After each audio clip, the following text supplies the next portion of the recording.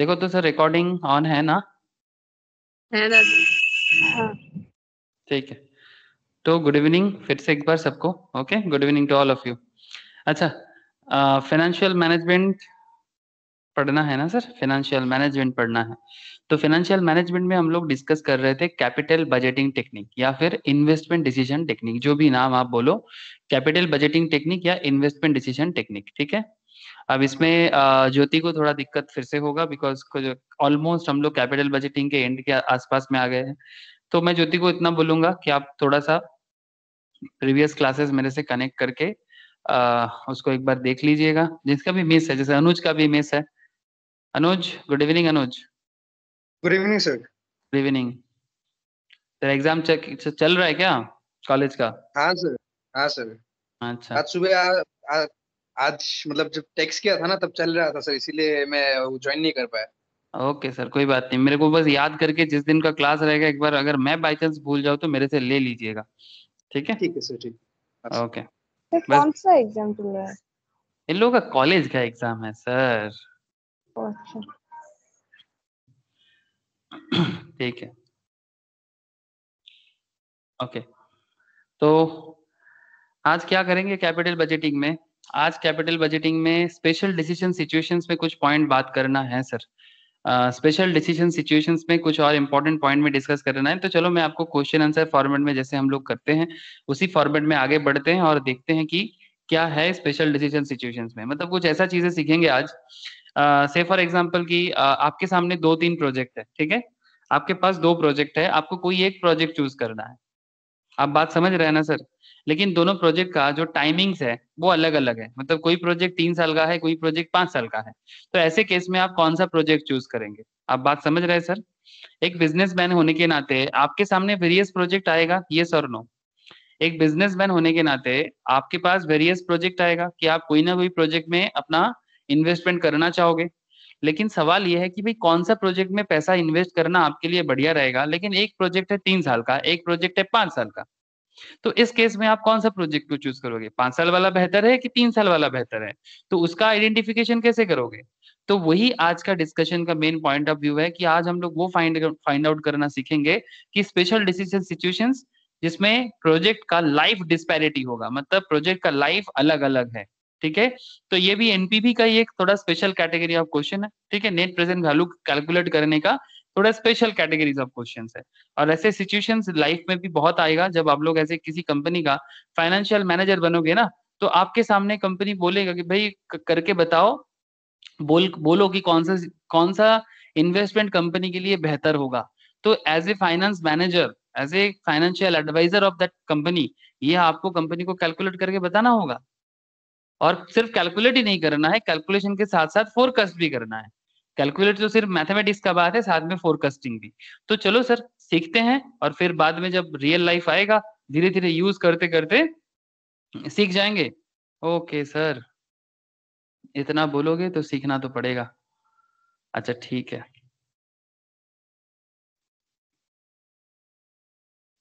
Just confirm करना sir screen share है कि नहीं है?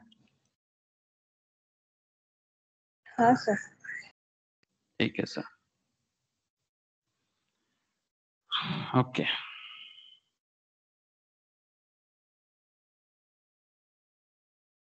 ठीक है, सर। चलो।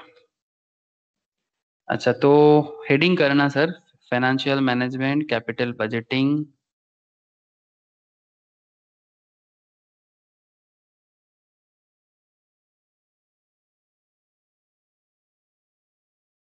जिनका पुराना क्लासेस मिस है ना सर थोड़ा लिंक करने में दिक्कत ज़रूर होगा, ठीक है? प्रीवियस क्लासेस जिनका मिस है, ज़रूर थोड़ा दिक्कत होगा बट इतना बोल सकता हूँ कि समझ में आएगा, ठीक है? तो फाइनेंस में फाइनेंस का क्या है ना सर फाइनेंस ना सर अंडरस्टैंडिंग वाला पेपर है बहुत ज़्यादा कॉन्सेप्चुअल अंडरस्टैंडिंग वाला पेपर है।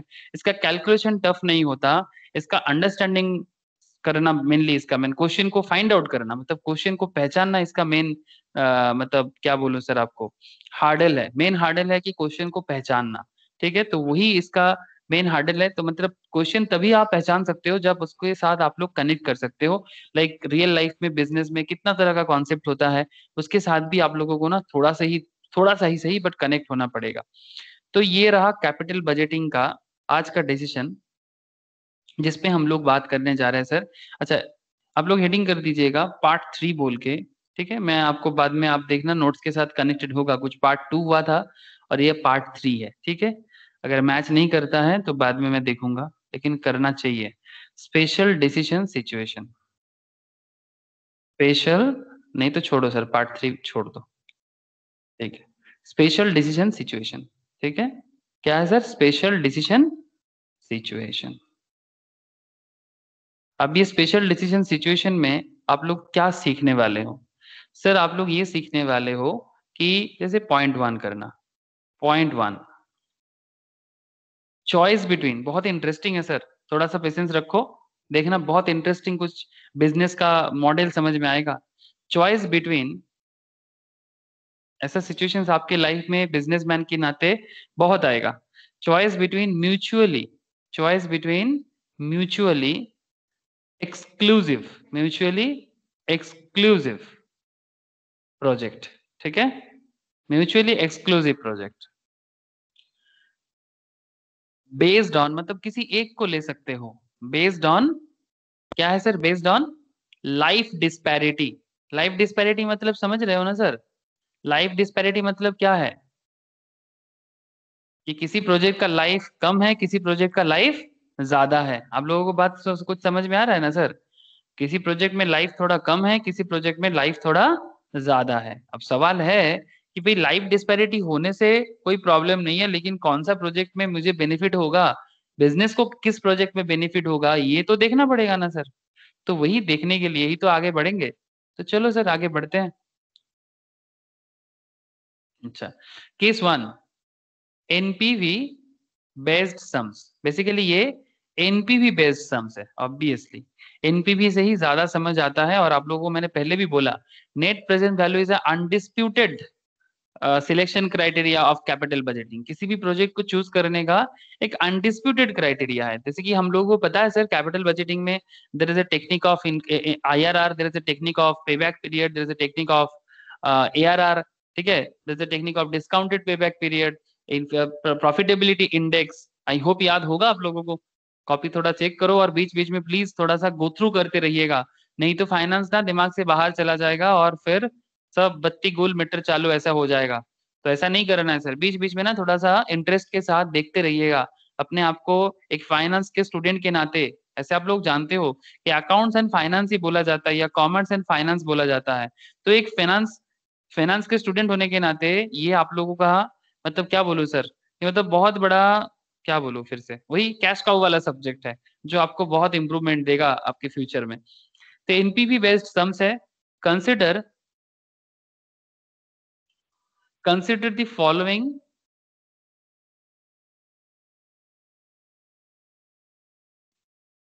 टू अच्छा सर, एक एक चीज़ मुझे बताओगे, क्या ये रेड आप लोगों के लिए दिक्कत तो नहीं कर रहा है? मैंने यहाँ पर रेड इंक यूज़ कर रहा है, कोई दिक्कत तो नहीं हो रहा है आप लोगों को? मतलब ऐसा तो नहीं कि आँखों में मतलब नहीं आ रहा है विजुअल विजुअल नहीं हो रहा है ऐसा तो नहीं है ना? नहीं नहीं sir So consider following two exclusive project तो चलो सर दो एक्सक्लूसिव प्रोजेक्ट दो प्रोजेक्ट चूज़ करते हैं। ठीक है? बढ़िया है सर, प्रोजेक्ट बनाएँगे, मज़ा आएगा। अच्छा प्रोजेक्ट लिखो sir. Years project A and project B तो एक प्रोजेक्ट ए है और एक प्रोजेक्ट बी है। सर, दोनों का लाइफ डिस्पेरिटी अलग है ना? मैं आपको स्टार्टिंग से बोल रहा कि दोनों का लाइफ अलग है। तो zero one two three four five ठीक है? Zero one two three four five initial investment क्या कर रहे हो सर प्रोजेक्ट ए में इनिशियल इन्वेस्टमेंट कर रहे हो आप? सिक्स हंड्रेड लैख ठीक है? रुपीज़ इन लैक्स ही सही है।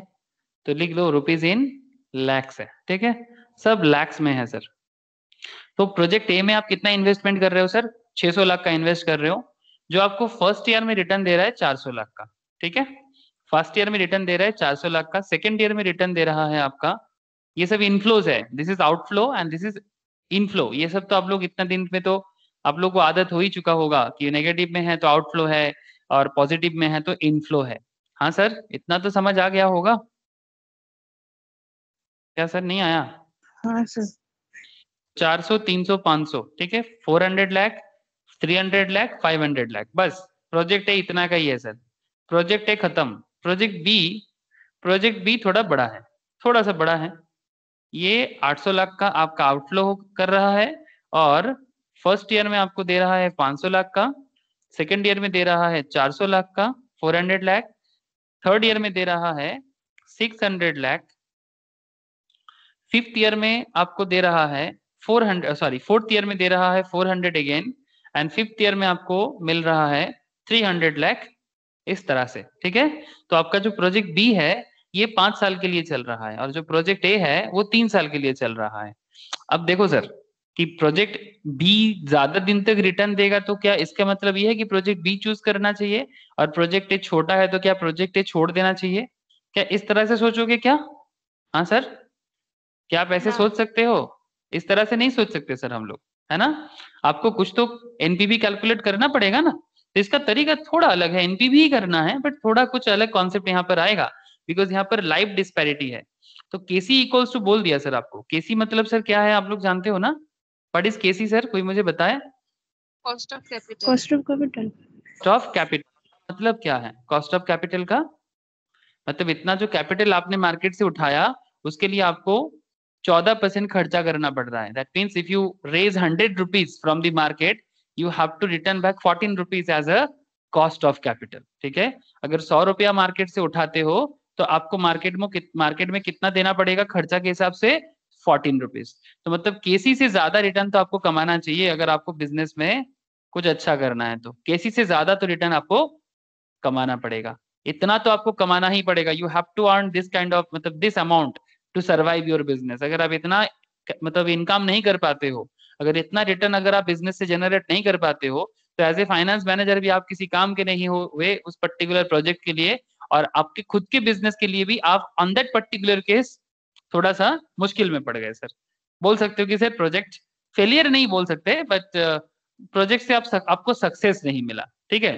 तो K C equals to fourteen percent आपको पूछा जा रहा है which project should be accepted? Which project should be accepted?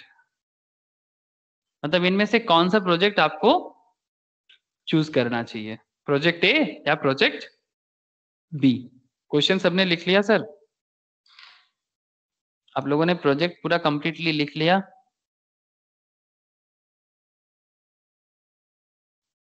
बोलिएगा सर स्पेशल डिसीज़न सिचुएशंस में आपके सामने प्रोजेक्ट रेडी है। अब इस प्रोजेक्ट को सॉल्व करना पड़ेगा सर अब इस प्रोजेक्ट को सॉल्व करना पड़ेगा कि कि कौन सा प्रोजेक्ट लेना चाहिए, वो भी स्पेशल डिसीज़न सिचुएशंस में देखना पड़ेगा, जिसमें लाइफ डिस्पैरिटी है। एक प्रोजेक्ट तीन साल का है, दूसरा प्रोजेक्ट पाँच साल का है। एक प्रोजेक्ट तीन साल का। ये देखो प्रोजेक्ट ए तीन साल में खत्म प्रोजेक्ट बी पाँच साल तक आपको इनफ्लो दे रहा है, ठीक है? इसका मतलब ये नहीं होता सर कि आपको प्रोजेक्ट बी ही चूज़ करना चाहिए, ऐसा कभी नहीं सोचना। तब तो एक मूर्ख इंसान और एक एडुकेटेड इंसान में कुछ तो फ़र्क होना चाहिए मतलब जो फाइनेंस समझते हो और जो फाइनेंस ना समझते हैं, फिर उन दोनों में क्या फ़र्क रह जाएगा?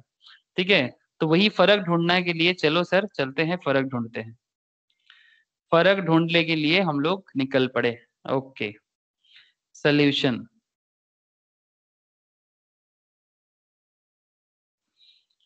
since since we have to choose, since we have to choose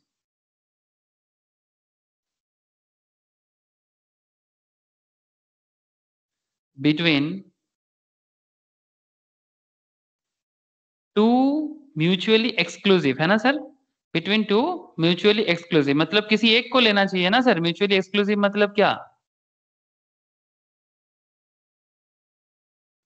to mutually exclusive project मतलब कोई भी एक प्रोजेक्ट चूज़ कर सकते हैं, ठीक है? Between two mutually exclusive project of unequal size of unequal size मतलब दोनों प्रोजेक्ट का साइज़ इक्वल नहीं है। मतलब कंपेयर करना थोड़ा मुश्किल हो गया ना सर अनइक्वल साइज़ हुआ तो फिर कंपेयर करना मुश्किल हो गया ऑब्वियसली जब इक्वल होता है तो कंपैरिजन अच्छा लगता है बट ये भी तो रियल लाइफ तो आपको हमेशा इक्वलिटी नहीं देगा ना सर रियल लाइफ आपको किसी भी एंगल में फेल मतलब डाल सकता है। रियल लाइफ में आपके सामने इक्वल प्रोजेक्ट भी आ सकता है अनइक्वल भी आ सकते हैं, है ना सर सर ज़िंदगी का एग्ज़ाम और एक मतलब आपका जो परीक्षा है, इसमें क्या फ़र्क है बोल सकते हो कोई? लाइफ का एग्ज़ाम ठीक है? और आप लोगों का क्लास का एग्ज़ाम लाइक स्कूल का कॉलेज का या प्रोफेशनल पढ़ाई का इन दोनों में फ़र्क क्या है? कोई मुझे बता सकते हो? दोनों और थ्योरी प्रैक्टिकल और थ्योरी नहीं सर मैं मान के चलता हूँ कि दोनों ही प्रैक्टिकल अप्रोच या दोनों ही थियोरेटिकल अप्रोच से चलता है। चलो मैं दो मिनट के लिए मान लिया। अब बताओ कि क्या डिफरेंस है? एक्सपीरियंस सर, ज़्यादा experiment होता के लिए है ना होता है। रियल लाइफ पे सर बोलो एक्सपीरियंस मिलता है ना रियल लाइफ पे? हाँ सर ऑब्वियसली रियल लाइफ में भी एक्सपीरियंस मिलता है स्कूल कॉलेज प्रोफेशनल एग्ज़ाम में भी मिलता है। हाँ बोल बोल। हाँ सर मैं बोल रहा था कि मतलब अभी सर रिटर्न एग्ज़ाम तो सर्वाइवल के लिए तो इतना इम्पोर्टेंट है नहीं। लेकिन लाइफ का तो है ना सर हाँ यस तो थोड़ा बहुत कनेक्ट कर रहा है लेकिन अगर मैं एक सिंगल लाइन पे बोलूँ तो मतलब आपका जो कॉलेज का एग्ज़ाम है, या स्कूल का, या प्रोफेशनल का, जो भी बोलो, मान के चलते कि ठीक है कॉलेज प्रोफेशनल एग्ज़ाम थोड़ा सा ट्रिकी है ऑब्वियसली बेटर देन आपका कॉलेज और स्कूल से प्रोफेशनल का एग्ज़ाम थोड़ा ट्रिकी माना जा सकता है, ठीक है? लेकिन फिर भी, ये सर्टेन है सर आपको पता है सिलेबस है आपका, ठीक है? आपके लिए एक सिलेबस बनाया गया, आपको एक डेट दे दिया गया, ठीक है? सिलेबस है डेट है, किताबें हैं, कहीं ना कहीं यहीं से पूछेगा। लेकिन लाइफ में जब कुछ पूछेगा, चाहे लाइफ में आप बिजनेसमैन बनते हो सपोज़ आप मुकेश अंबानी को ही सोचो, आप मुकेश अंबानी को ही सोचो रिलायंस के ओनर को सोचो, या टाटा को सोचो जस्ट इमेजिन कि आप टाटा हो, आप रिलायंस हो हाँ या फिर आप इन्फोसिस हो, ठीक है? आप इन्फोसिस हो तो रिलायंस मुकेश अंबानी इन्फोसिस इनके भी लाइफ में एग्ज़ाम आते हैं, हर मिनट में आते हैं, हर सेकंड में आता है। जैसे इन्फोसिस का जो बात अभी रोशनी बोल रहा था कि ज़िंदगी का एग्ज़ाम का बात मैं कर रहा हूँ, ये सर्टेन नहीं है सर, ये अनसर्टेन है। कि कभी कौन कब मतलब किस मूवमेंट में आपके सामने क्या सवाल होगा लाइफ के एग्ज़ाम में, इसका कोई गारंटी नहीं है सर। कोई गारंटी नहीं है कि आपके सामने हमेशा आपके पसंद का सवाल हो। या फिर जो एग्ज़ाम मतलब जो आप प्रैक्टिस करके रखे हो, आपको वही पूछा जाए, ऐसा ज़रूरी है क्या? हाँ सर? ज़िंदगी में सवाल जो होता है क्या आपको जो प्रैक्टिस किया हुआ है वही पूछेगा? या फिर कुछ भी पूछ सकते हैं? बोलो ना सर कुछ भी। कुछ भी पूछ सकते हैं सर कुछ भी पूछ सकते हैं। जैसे रिसेंटली इन्फोसिस ने एक बहुत बड़ा एग्ज़ाम दिया। ऐसे आप लोगों को पता है सर इंडिया में आधार कार्ड किसने बनाया? ये जो आधार का टेक्नोलॉजी है वो आधार कार्ड इन्फोसिस नहीं बनाया। इन्फोसिस का ही टेक्नोलॉजी है आधार कार्ड। रिसेंटली इन्फोसिस का और एक न्यूज़ है सर आपको बताता हूँ। इन्फोसिस इन्फोसिस ने रिसेंटली ये देखो सर ये जो न्यू रिटर्न फाइलिंग का जो ऐप बना है सर इनकम टैक्स का इनकम टैक्स का न्यू रिटर्न रिटर्न फाइलिंग के लिए न्यू मतलब वेबसाइट को थोड़ा और यूज़र फ्रेंडली बनाया गया सर ठीक है? मतलब जो new income tax return filing का जो मतलब वेबसाइट है गवर्नमेंट का, ठीक है? Income tax dot gov dot in बोल के जो होता है सर वो ई फाइलिंग का जो है, वो और थोड़ा सा क्या कर दिया गया? यूज़र फ्रेंडली किया गया। अब इसका टेक्नोलॉजी किसने बनाया? इसने भी इन्फोसिस नहीं बनाया। नीलकेनी ननन नीलकेनी जो इन्फोसिस का को फाउंडर मेंबर है, ठीक है? जैसे कि नारायण मूर्ति साहब है, वैसा ही ननन नीलकेनी तो इन्फोसिस को ही दिया गया।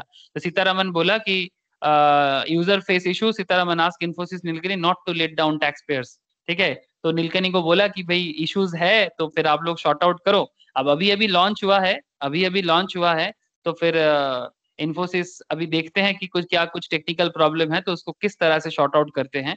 तो बेसिकली आप समझ समझ रहे हो सर कि आप कोई भी कंपनी चला सकते हो आप कोई भी बिज़नेस चला सकते हो डजेंट मैटर बट आपके सामने कब कौन सा मतलब आ, किस तरह का क्वेश्चन हो जाए आपके सामने क्या प्रॉब्लम आप बोलो कि इन्फोसिस इतना बड़ा आईटी कंपनी है बट इतना बड़ा प्रॉब्लम सोल्यूशन का रेस्पॉन्सिबिलिटीज भी उसको मिला है कि पूरा भारत का इनकम टैक्स सॉफ्टवेयर उनको बनाने का रेस्पॉन्सिबिलिटीज दिया गया है। लेकिन प्रॉब्लम होगा तो शॉर्ट आउट भी करना होगा। ऐसा नहीं कि हम लोग तो बेस्ट है तो हमसे प्रॉब्लम नहीं हो सकता। ऐसा बोलोगे क्या? इन्फोसिस ऐसा बोलेगा कि we are best IT company in India and the world तो हमसे प्रॉब्लम नहीं हो सकता, ये कस्टमर का प्रॉब्लम है। क्या बोलोगे आप? यूज़र का प्रॉब्लम है बोलेगा क्या? बोलो ना। हाँ सर इन्फोसिस उसको ठीक करने का कोशिश करेगा। क्या लगता है? हाँ सर। ठीक करने का कोशिश करेगा। तो आपका माइंड सेटअप भी सर वैसा ही होना चाहिए। That is the main motto मैं वही आपको बोल रहा हूँ कि हमेशा आपको एकदम जाना पहचाना सब कुछ मिलेगा। ऐसा ज़िंदगी में कभी नहीं हो सकता। ठीक है? तो प्लीज़ अपने माइंड सेटअप को वैसा बनाओ। ठीक है? एक्चुअली ये कॉमन कॉमन का जो कॉन्सेप्ट है ना, ये कॉमन कॉन्सेप्ट से बाहर निकलो सर। ये जो डब्बा मार का एजुकेशन सिस्टम हमारे देश में चल रहा है ना, इससे बाहर निकल जाओ सर। ठीक है, आपके एग्ज़ाम के हिसाब से आप ज़रूर प्रिपेयर करो, उसमें कोई प्रॉब्लम नहीं है। एग्ज़ाम का एक सिस्टम है सिनारियो है, आप, आपको आपको उसके हिसाब से चलना चाहिए। बट ये हमेशा कॉमन नहीं मिल रहा है कॉमन नहीं मिल रहा है मतलब माइंड कॉमन के साथ चला जा रहा है, ये अच्छा बात नहीं है सर इसमें आप शायद एग्ज़ाम का नहीं पार कर दो बट लाइफ में आपको बहुत प्रॉब्लम झेलना होगा। ओके सिमिलरिटीज ढूंढो कॉमन मत ढूंढो। Since we have to choose between two mutually exclusive projects of unequal size ठीक है? हम लोगों ने दो ऐसा अनइक्वल साइज़ का प्रोजेक्ट मिला। We will calculate we will calculate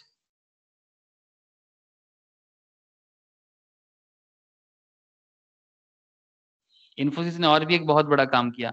जैसे आप लोग जानते हो सर कोर बैंकिंग सिस्टम के बारे में कोई आइडिया है आप लोगों को? ये बस मैं ऐसे ही बोल रहा हूँ इन्फोसिस का बात हो रहा था इसलिए बोला। कोर बैंकिंग सिस्टम बोल के एक कॉन्सेप्ट है जानते हो आप लोग? कोर बैंकिंग सिस्टम क्या होता है? एनी वन एनी आइडिया जल्दी बोलो। कोर बैंकिंग सिस्टम का कोई आइडिया सर मतलब सिंपल बात है कि सपोज़ आप स्टेट बैंक ऑफ़ इंडिया में आपका अकाउंट है आ, और मेरा अकाउंट है जैसे कि ज्योति के साथ बात चल रहा था मानो कि ज्योति का अच्छा चलो सर ज्योति का येस बैंक में है मेरा एसबीआई में है। है ना ज्योति? सही बोला ना? हाँ सर। अब ज्योति का येस बैंक में है मेरा एसबीआई में है। अब ज्योति ज्योति को मुझे कुछ पेमेंट करना है। तो मैं क्या किया? ज्योति को एक चेक इशू किया। ज्योति वो एसबीआई का cheque State Bank of State Bank of India का चेक येस बैंक में डाला। तो चेक इनकैश हो जाता है कि नहीं हो जाता? एसबीआई का चेक अगर येस बैंक में डालेगा तो क्या वो चेक इनकैश हो जाता है? हो जाता है ना सर? यस ऐसा ऐसा थोड़ी ना कि एसबीआई या एसबीआई से ही बात होगा। किसी भी बैंक का चेक किसी भी बैंक के साथ कनेक्टेड कर लेता है ना तो आरबीआई के पास एक ऐसा सॉफ्टवेयर है, ठीक है? जो सॉफ्टवेयर हर एक बैंक के साथ कनेक्टेड है। तो पूरा भारत का बैंकिंग सिस्टम को एक वन यूनिक कंट्रोल सिस्टम से भी चलाया जाता है, जिसको कोर बैंकिंग सिस्टम बोलते हैं। और उस कोर बैंकिंग सिस्टम के कारण ही कि आपका अकाउंट किसी भी बैंक में हो, आप किसी बैंक किसी भी बैंक के साथ ट्रांजेक्शन इजीली कर लेते हो, ठीक है? ये सुनने में आज के डेट में बड़ा आसान लगता है बट जब ये प्रॉब्लम मतलब ये कोर बैंकिंग सिस्टम का टेक्नोलॉजी इन्फोसिस ने बिल्ड नहीं किया था, ठीक है, तब ये बहुत बड़ा प्रॉब्लम हुआ करता था सर तो ये भी टेक्नोलॉजिकल फ़ील्ड में एक बहुत बड़ा रिवोल्यूशन है। टेक्नोलॉजिकल फ़ील्ड में ये भी एक बहुत बड़ा रिवोल्यूशन है, जिसका भी किरदार किसको जाता है? इसको क्रेडिट भी इन्फोसिस को जाता है सर ऐसे इंडिया में बहुत बड़ा बड़ा प्रोजेक्ट इस तरह का इन्फोसिस कर किया है, ठीक है? तो ये कुछ अच्छा बात याद आया तो मैं आपको बोला। ठीक है, चलो क्वेश्चन सॉल्व करते हैं। तो since we have to calculate unequal size we will calculate क्या करेंगे? हम लोगों को एक कॉन्सेप्ट कैलकुलेट करना पड़ेगा। क्या कॉन्सेप्ट है? इसका नाम है सर एनुअल इक्विवेलेंट बेनिफिट बात कुछ समझ में आ रहा है सर एनुअल इक्विवेलेंट बेनिफिट मतलब आपके पास दो बिज़नेस है, दो प्रोजेक्ट है, जो दोनों प्रोजेक्ट अलग अलग लाइफ का है। दोनों प्रोजेक्ट का लाइफ अलग है सर तो अगर दोनों प्रोजेक्ट का लाइफ अलग है तो आप एटलीस्ट जब इनको बीच में किसी एक को आपको चूज़ करना है तो दोनों को आपको एक ऐसे कॉन्सेप्ट में चूज़ करना चाहिए ना, जिसमें आपको एनुअल इक्वल बेनिफिट मिल जाए। तो ये एनुअल इक्वल बेनिफिट ढूँढने के लिए आपको क्या करना होगा? सर एनुअल इक्वल बेनिफिट ढूँढने के लिए आपको एक फॉर्मूला समझना पड़ेगा। क्या है सर फॉर्मूला बताओ तो सर सर फॉर्मूला रटने का नहीं सर फॉर्मूला समझने का है और फिर बाद में रट लीजिएगा। पहले समझिएगा फिर रटिएगा, ठीक है? नेट प्रेजेंट वैल्यू जो होगा नेट प्रेजेंट वैल्यू जो होगा, इसको डिवाइड कीजिएगा प्रेजेंट वैल्यू एनिमिटी फैक्टर से, ठीक है? ये मैंने आपको पहले भी सिखाया प्रेजेंट वैल्यू एनिमिटी फैक्टर के बारे में, मैं हम लोगों को आपको पहले भी सिखाया। तो NPV divided by present value annuity factor bracket में के सी कॉमा एन मतलब कितना साल के लिए है, ठीक है? मतलब how many years N means number of years K C means cost of capital तो ये प्रेजेंट वैल्यू एन्युटी फैक्टर का हिसाब तो मुझे आप लोगों को पहले भी सिखा हुआ है। फिर से अगर किसी को याद नहीं है तो आज रिकॉल हो जाएगा। तो ये आपको कैलकुलेट करना पड़ेगा। बट यहाँ तक पहुँचने के लिए ये जो इक्विवेलेंट बेनिफिट एक साल का equivalent benefit annual equivalent benefit या एई ठीक है, जो है, इसको पहले हम लोगों को कैलकुलेट करना है। एनुअल इक्विवेलेंट कॉस्ट या एनुअल इक्विवेलेंट बेनिफिट तो चलो सर, इस पर्टिकुलर क्वेश्चन को सॉल्व करते हैं। इजी क्वेश्चन है बट आपको समझ के करना है, ठीक है। Sir project A project A को पहले सॉल्व करते हैं। मैं प्रोजेक्ट ए करता हूँ, फिर आप लोग खुद से प्रोजेक्ट बी कीजिएगा। हाँ सर? करोगे ना? Years net cash flow and present value at the rate of 14 percent जब अलग से कुछ प्रेजेंट वैल्यू बोला नहीं है तो केसी को ही मानना पड़ेगा। तो कॉस्ट ऑफ़ कैपिटल 14 परसेंट है मतलब आप जो भी वैल्यूएशन करोगे, वो केसी के रेट में करना पड़ेगा। और आप लोगों को पता है यहाँ पर कि केसी का रेट कितना दिया हुआ है सर चौदह परसेंट दिया हुआ है, ठीक है? मतलब इतना रेट में आपको सारा के सारे वैल्यू को प्रेजेंट वैल्यू में कन्वर्ट करना है। तो चलो सर कन्वर्ट करते हैं। ज़ीरो वन टू थ्री कितना साल का है sir project A project A is for how many years हाँ सर बोलो ना। Three years three years sir very good तो 600 लाख आपने फ़र्स्ट में दिया। तो this is your initial investment now just find out 400 300 and 500 ये आपका इनफ्लो हो रहा है। आपको क्या करना है? दिस 14 परसेंट रेट में आपको सारे के सारे वैल्यू को फाइंड आउट करना है। इसका तो सेम ही रहेगा। जस्ट फाइंड आउट की 400 का एक साल बाद आपको 400 लाख मिल रहा है। जस्ट फाइंड आउट कि इसका आज का वैल्यू कितना है। 400 लाख जो आपको एक साल बाद मिल रहा है। Your inflow your project inflow one year later is 400 lakh market में इन्फ्लेशन है आपके लिए 14 percent then just find out then what is the actual value 400 lakh one year later का आज का वैल्यू ढूंढना है सर आपको। कर लोगे? 300 लाख का वैल्यूएशन टू इयर्स बाद आपको इनफ्लो होगा। जस्ट फाइंड कर हाँ बोलो सर। 350.87 थैंक यू 350.87 ये 400 लाख एक साल बाद मिल रहा है इसका आज का वैल्यू है 350.87 वेरी गुड सर जिनको समझ में नहीं आया मैं एक बार ज़रूर दिखाऊँगा। इसका भी बोल दे रोशनी। 230.84 230.84 वेरी गुड सर और बाकी लोग भी बोलो सर 500 का आज का value 37.48 37.49 nine? Okay four nine ठीक है।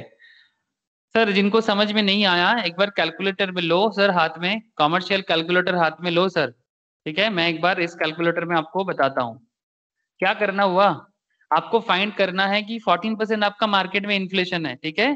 तो आपको 14 परसेंट रेट में ही कैलकुलेशन करना होगा मतलब मार्केट में महँगाई 14 परसेंट तो जो 400 लाख आपको एक साल बाद दिख रहा है 400 lakh one year later 400 lakh one year later इसका मतलब क्या है? कि मार्केट में 14 परसेंट का इन्फ्लेशन है। इसका मतलब ये है कि if you invest one rupee today rupees one today लेकिन inflation is 14 percent every year then is rupees one का वैल्यूएशन आफ्टर वन ईयर कितना होगा? रुपीज़ वन का वैल्यूएशन आफ्टर वन ईयर कितना होगा? Valuation after one year that is the point of understanding एक रुपया का वैल्यू एक साल बाद चौदह परसेंट रेट में कितना होता है? If you find that then 400 lakh का वैल्यू भी आपको फाइंड आउट हो जाएगा। बात कुछ समझ में आया कि नहीं आया सर आप लोग तो समझते हो ना इन्फ्लेशन का प्रॉब्लम क्या है? महँगाई का प्रॉब्लम क्या है? यू ऑल अंडरस्टैंड और यहाँ पर बात महँगाई का नहीं है।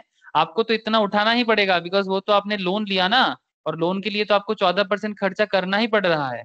तो आपको अगर बिज़नेस को सर्वाइव करना है, वो चौदह परसेंट आपके लिए महँगाई है। क्या ये बोलना गलत होगा? वो चौदह परसेंट आपके लिए महँगाई है। अगर आपको सरवाइव करवाना है तो चौदह परसेंट से ज़्यादा लाना पड़ेगा। यस और नो सर बोलो। लॉजिक क्लियर है कि नहीं है? पहले तो ये बता दीजिए। हाँ सर बोलो ना। कॉन्सेप्ट समझ में आया कि 14 परसेंट रेट में क्यों करना पड़ रहा है? तो क्या करेंगे कैलकुलेटर में? 14 डिवाइडेड बाई 100 कितना आता है? 0.14 प्लस कर दीजिएगा वन तो कितना आएगा? 1.14 अब इसको आपको क्या करना है? डिस्काउंट करना है बिकॉज़ आप आज में आना चाहते कल में नहीं जाना चाहते। कल में जाओगे तो फिर कंपाउंड करना पड़ेगा। बाद में जब सिचुएशन आएगा मैं कंपाउंड भी बता दूँगा। लेकिन इस केस में आपको डिस्काउंट करना है तो इंटू करोगे कि डिवाइड करोगे? Please tell me sir into करे कि डिवाइड करे? डिवाइड करेंगे। तो जस्ट कैलकुलेटर में दो बार डिवाइड मारो। सर दो बार क्यों? सर तीन बार भी मारोगे तो कोई प्रॉब्लम नहीं है। एक्चुअली क्या है ना कैलकुलेटर में दो बार तीन बार करने का मतलब है, कई बार कैलकुलेटर लेता नहीं है तो आप दो बार तीन बार मार दो तो वो समझ जाएगा अच्छा मेरे को डिवाइड करने के लिए बोल रहा है। बस, यही कारण है। अच्छा अब मुझे इक्वल देना है। एक बार इक्वल दे कैलकुलेटर में जस्ट प्रोवाइड वन इक्वल आपको एक वैल्यूएशन मिला sir this is what sir ये आपका प्रेजेंट वैल्यू एन्युटी फैक्टर है। Present value interest factor annuity factor नहीं sorry PVIF present value interest factor इसको क्या कर दोगे सर इस point eight seven seven one nine जो भी आया, इसको इंटू कर दो फोर हंड्रेड के साथ।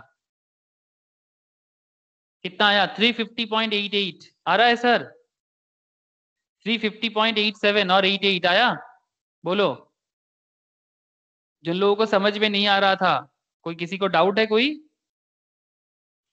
किसी को कोई डाउट है सर इस पर्टिकुलर पॉइंट में? अरे सर हाँ ना कुछ तो बोलो मुझे भी थोड़ा मोटिवेशन मिल जाता है।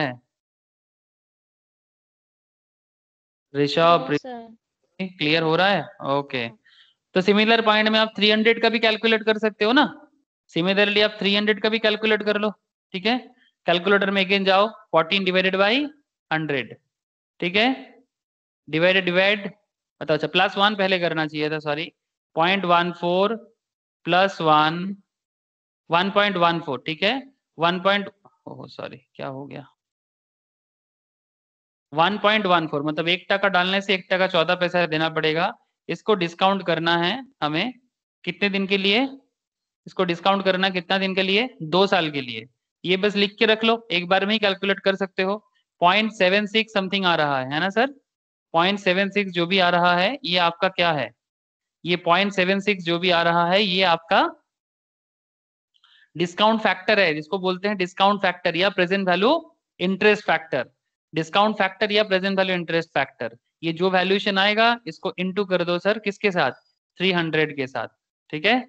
230.84 देखो एक बार। रोशनी इसी तरह से मुझे बोला था। तो ये दादा 230.84 आएगा।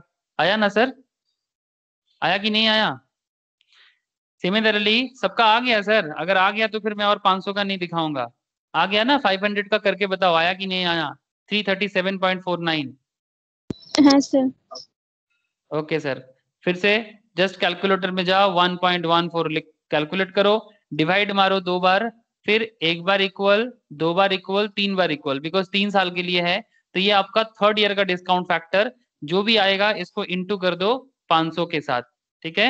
देखो सर 337.485 दैट मींस 49 337.49 आ गया ना सर जो भी आया, इन तीनों को टोटल करो, जो इनफ्लो का प्रेजेंट वैल्यू है, ठीक है? इसका मतलब जो एक साल बाद आपको 400 लाख शो कर रहा था, वो एक्चुअल में आपके लिए 350 लाख है।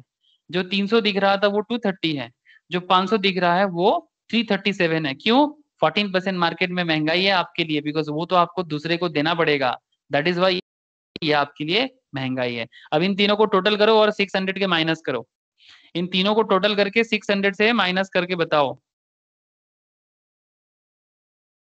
919.2 इन तीनों को टोटल करने से টোটাল করে মাইনাস করে आई टोटल करके माइनस करेगा तो nine one Nine point two.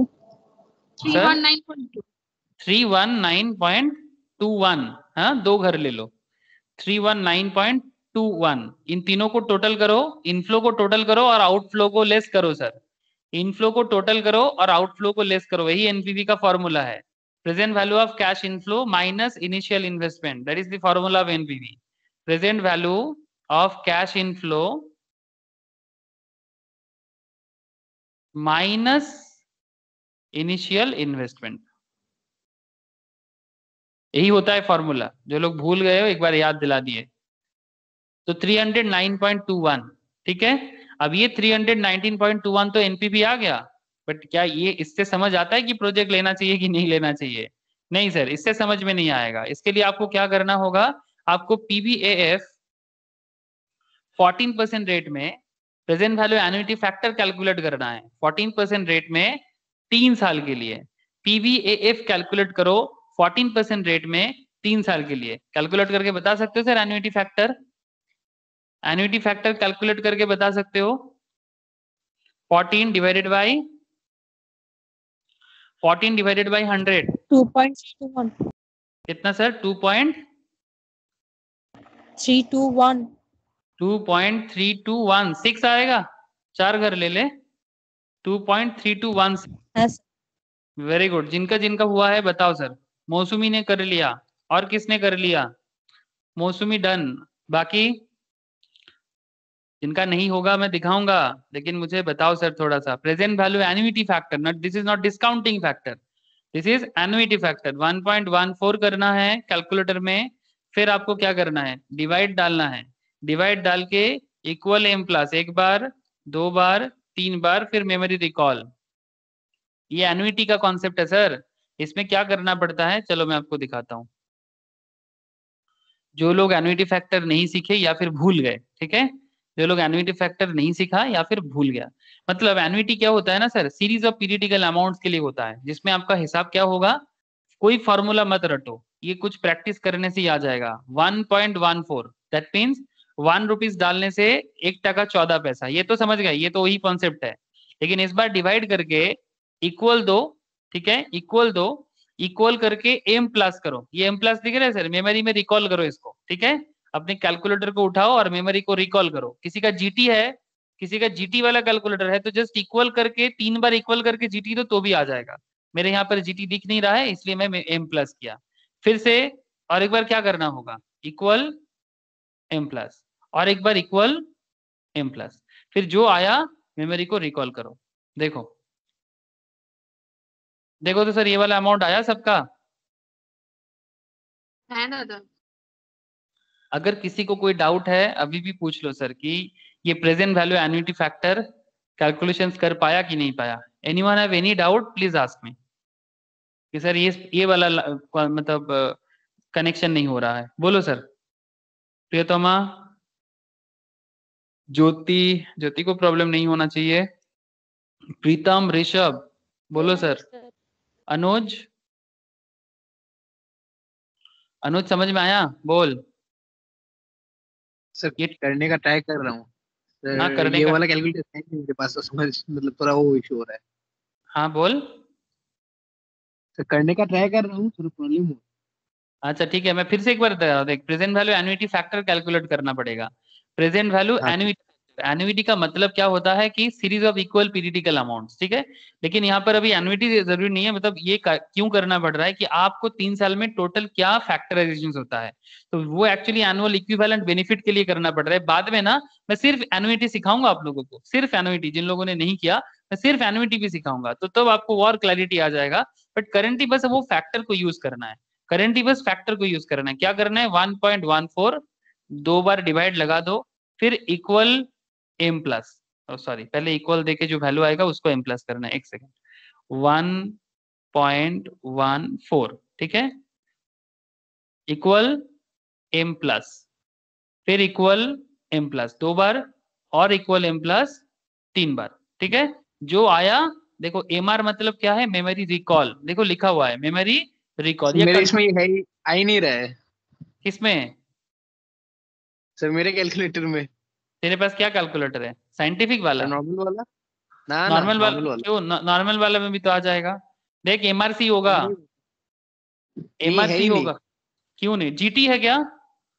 GT GT नहीं सर सर नहीं वो sine cos tan log in फिर ब्रैकेट से इन है फिर साइन साइन कॉस अरे पगला। साइन कॉस मतलब तेरे पास तो साइंटिफिक कैलकुलेटर है। अच्छा सर वो मेरे को नहीं मालूम। साइन कॉस जहाँ रहता है वो साइंटिफिक कैलकुलेटर होता है। तब तो तुम ऐसे ही निकाल अच्छा। लेते निकाल सकते हो। वो टू दी पावर थ्री करके निकल जाएगा। 1.14 whole to the power three ऐसा कुछ करके निकल जाएगा। लेकिन वो कैलकुलेटर यूज़ करने में नहीं देगा सर। आपको कमर्शियल वाला करना है ठीक है? आपको कमर्शियल वाला ही करना आप कमर्शियल वाला कैलकुलेटर एक खरीद लेना सर ठीक है? One point one four divided by equal M plus. एक बार इक्वल एम प्लस दो बार इक्वल एम प्लस तीन बार। मतलब जितना बार आपका पावर होगा उतना बार करना है और फिर लास्ट में आपको रिकॉल करना है। ठीक है? ये क्या हो रहा है मेरा बार? एक सेकंड सर कुछ गड़बड़ हो गया है यहाँ पर। मेमोरी में कुछ अटक गया लग रहा है। एक सेकंड रुको। मौसम में मैंने कुछ गड़बड़ किया क्या? वन पॉइंट वन फोर ओहो। One one point one four divide divide एक इक्वल एम प्लस एक बार दो बार और तीन बार। रिकॉल क्या हो रहा है? एक सेकेंड मेमोरी क्लियर करना एक सेकेंड मेमोरी हाँ, में बहुत सारा जुड़ गया इसलिए हो रहा है। ये आप लोगों के साथ भी हो सकता है। मेमोरी में कुछ रह जाएगा तो दिक्कत हो जाएगा। मेमोरी को क्लियर करना चाहिए। 1.14 डिवाइड डिवाइडेड एक बार इक्वल ठीक है ये एम प्लस करो फिर इक्वल एम प्लस करो फिर इक्वल एम प्लस करो ठीक है? फिर रिकॉल कर दो। ऑलरेडी देखो वहाँ पर दिख रहा है मेमोरी में। ये देखो ऑलरेडी यहाँ पर शो कर रहा है, ठीक है? आप यहाँ पर एमआर कर दोगे तो आपको दिख जाएगा। ये आपका टोटल तीन साल का प्रेजेंट वैल्यू एन्युटी फैक्टर है। और ये वैल्यू आपको कैलकुलेट करना ज़रूरी है यहाँ पर, ठीक है? तो जस्ट वही कैलकुलेशन कर रहे हैं। पीबीए वैसे एक टाइम वैल्यू ऑफ़ मनी का चैप्टर होता है, उसके अंदर डिटेल्स में सिखा जाता है। लेकिन करेंटली डिटेल्स ज़रूरी नहीं है जस्ट पीबीएफ और पीबीआईएफ ये दोनों बस आप लोगों को थोड़ा समय कराते कराते ही सिखा देता हूँ। आप लोग थोड़ा इसको याद रखिएगा। बहुत वाइटल कॉन्सेप्ट है सर ये पीबीएफ तो पीछा नहीं छोड़ेगा। पीबीएफ और पीबीआईएफ ठीक है? तो 2.3216 देयरफॉर एनुअल इक्विवेलेंट एक्चुअली इसका ना फॉर्मूला होता है। बट इसका फॉर्मूला रटने का ज़रूरत नहीं है। Annual equivalent benefit equals to अब देखो मैंने बेनिफिट का फॉर्मूला लिखाया था आप लोगों को। 319 NPV divided by NPV divided by PVF है ना sir NPV divided by PVF देखो, मैंने लिखा के रखा आप लोगों को। ये देखो। कहाँ चला गया?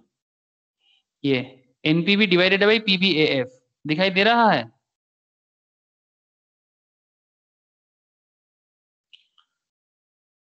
ब्रैकेट में KC comma number of years sir आप लोगों को समझ तो आ रहा है ना? है ना सर सभी को समझ में आ रहा है कि नहीं आ रहा है? है सर।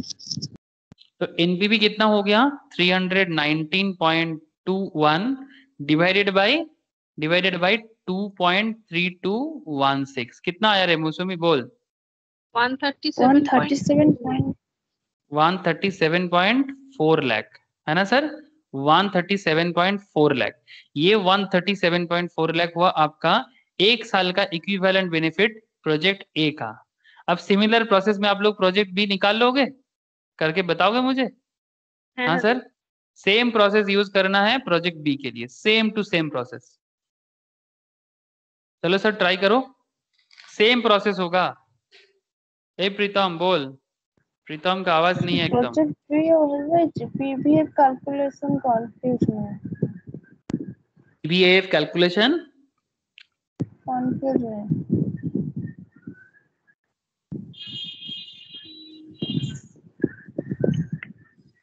साइलेंट ये कर दो बैकग्राउंड नॉइज़ है म्यूट कर लो सर पीबीएफ कैलकुलेशन कैसे करना पड़ेगा? आपका रेट क्या है? 14 परसेंट है। तीन साल के लिए प्रेजेंट वैल्यू एन्युटी फैक्टर चाहिए। इसके लिए आपको क्या करना होगा? 14 डिवाइडेड बाई 100 करना होगा।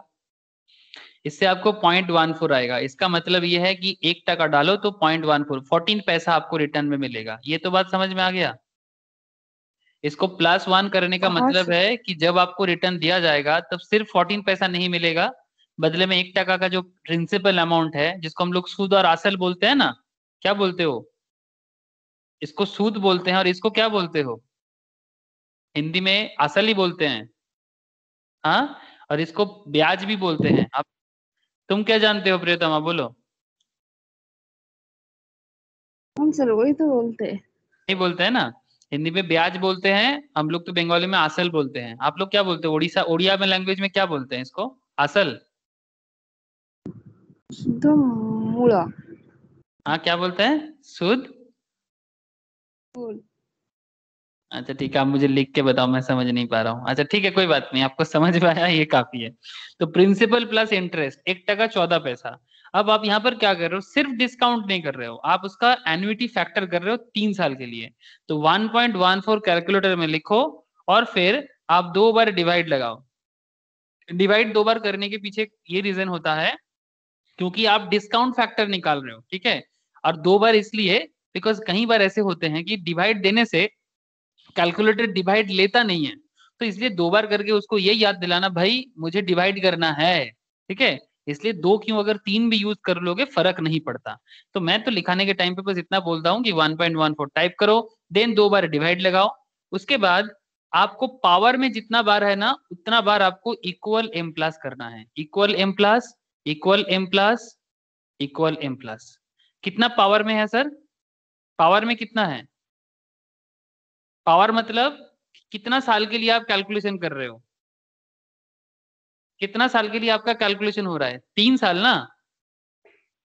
हाँ सर तो जितना साल का आपका कैलकुलेशन है उतना साल का आपको बस पीबीएफ कैलकुलेट करना है। तो ये तीन साल का है। अगर ये पाँच होता तो इक्वल एम प्लस पाँच बार होता। दस होता तो इक्वल एम प्लस दस बार होता। बस यही कर रहे हैं। और क्या? 1.14 डिवाइड डिवाइड एक बार इक्वल एम प्लस दो बार इक्वल हाँ बोलो বলছি প্রজেক্ট বি এর অ্যানুয়াল ইকুইভ্যালেন্ট বেনিফিট কি 320.47 मिस्टेक हुआ है चेक कर ये लिख ले 216.72 very good sir very good जिसका 216.72 आया I am very happy with your answer okay ए प्रियोतमा बोल समझ में आया ये लिख के रख ले इस तरह से पीवीएफ हाँ कैलकुलेशन होगा। बाद में मैं ना एनुइटी का क्लास कराऊँगा तब तुझे इसका कॉन्सेप्ट भी समझ में आ जाएगा। ठीक है? बाद में मैं एनुइटी का कॉन्सेप्ट भी बताऊँगा कि एनुइटी क्या है क्या क्यों क्या होता है एनुइटी का क्वेश्चन वो सिर्फ़ पर्टिकुलर एनुइटी में होगा तब और थोड़ा क्लैरिटी आ जाएगा। ठीक है? अभी कैलकुलेशन तो समझ में आ गया ना? हाँ सर हाँ सर अभी सिर्फ़ कैलकुलेशन समझ बाद में जब एनुइटी का क्वेश्चन करवाएँगे तो वो क्लियर हो जाएगा। ओहो मैं इसको क्यों पूछ रहा हूँ? सॉरी सर ये मुझे रब करना चाहिए यहाँ से। जिन्हें डाउट है वो लोग लिख सकते थे ठीक है कि इस तरह से होगा। अच्छा प्रोजेक्ट बी कैलकुलेट करो sir project B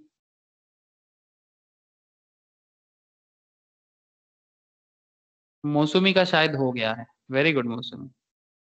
Sir answer क्या है? आंसर क्या है? मौसमी कितना बोला तो? 216.72 216.72 ये प्रोजेक्ट बी का मैच हो गया। Very good sir very happy sir years करो सर बाकी लोग भी करो मैं कर रहा हूँ. ईयर्स एनसीएफ और present value at the rate of 14 percent same to same ही तो है. ज़ीरो यहाँ पर बस क्या है? नंबर ऑफ़ ईयर थोड़ा ज़्यादा है. वन टू थ्री फोर और फाइव ठीक है? One two three four five कितना? 800 लाख का है. ये कितना है सर? 500 का रिटर्न दे रहा है। सेकेंड ईयर में 400 लाख का रिटर्न दे रहा है। थर्ड ईयर में 600 लाख का रिटर्न दे रहा है। फोर्थ ईयर में अगेन 400 लाख और फिफ्थ ईयर में 300 लाख ओके यही है ना सर? 300 लाख का रिटर्न मिल रहा है। बहुत बढ़िया। और सर प्रेजेंट वैल्यू इसका तो 800 ही रह जाएगा। ये तो आउटफ्लो है।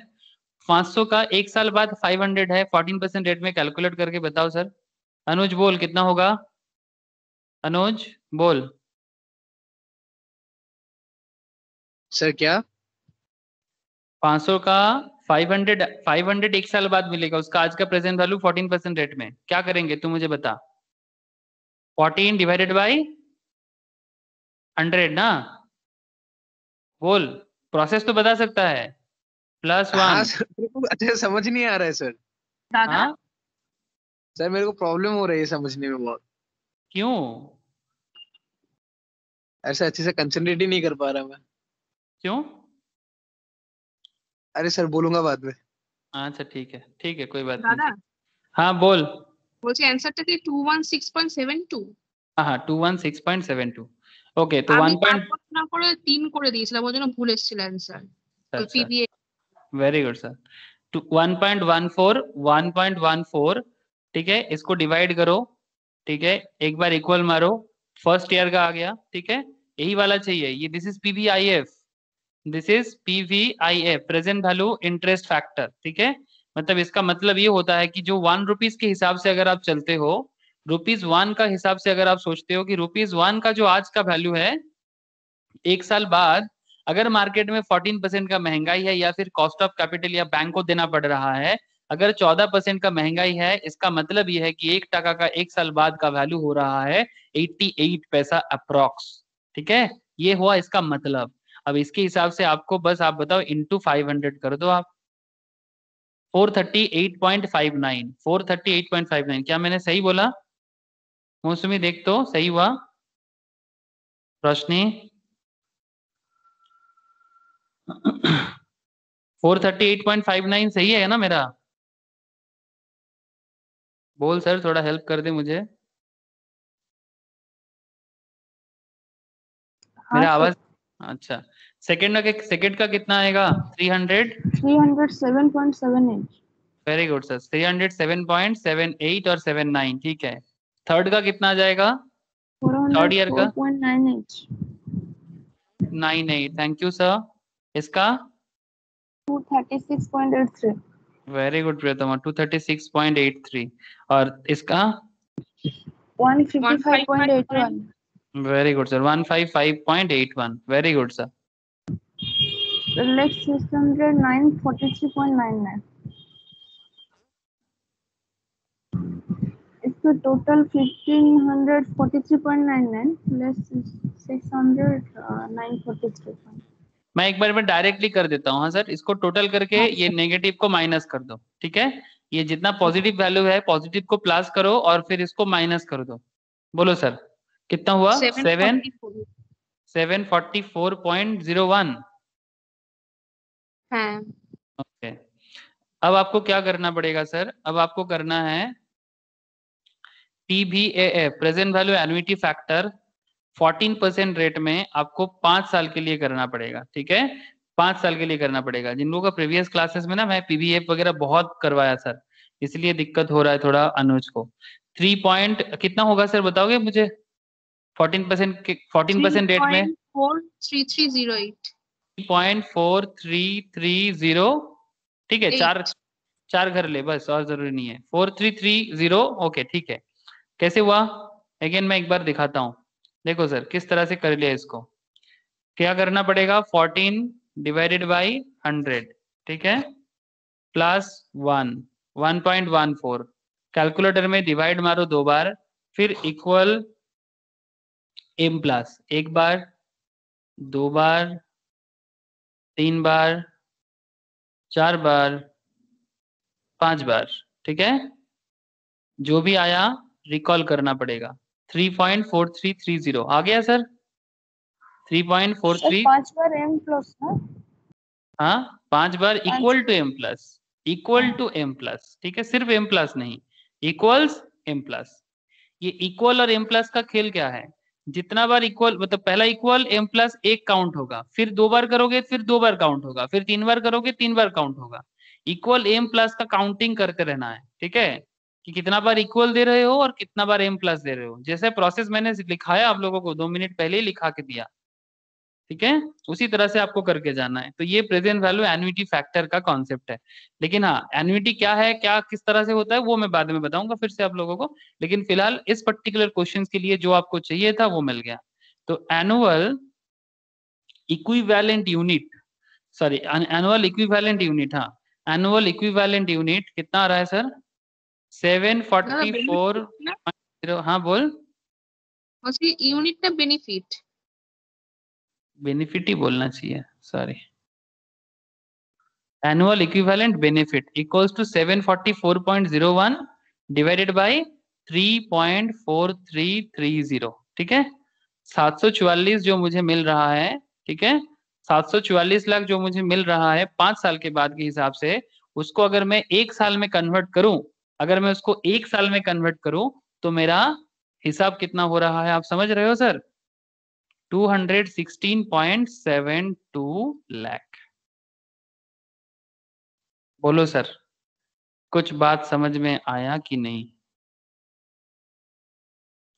प्रोजेक्ट ए भी किया प्रोजेक्ट बी भी किया हम लोगों ने। हम लोगों ने प्रोजेक्ट ए भी किया और हम लोगों ने प्रोजेक्ट बी भी किया। किसका कितना अमाउंट हुआ? प्रोजेक्ट बी का हुआ 216 और प्रोजेक्ट ए का हुआ 137 एक साल के हिसाब से। एक साल में कौन सा प्रोजेक्ट कितना बेनिफिट आपको दे रहा है? क्या करना चाहिए? प्रोजेक्ट ए लेना चाहिए कि प्रोजेक्ट बी लेना चाहिए? बी थैंक यू सर जो प्रोजेक्ट आपको ज़्यादा बेनिफिट देगा वही लेना चाहिए। यही आपका फाइनेंशियल एडवाइजरी है। Since project B has a higher annual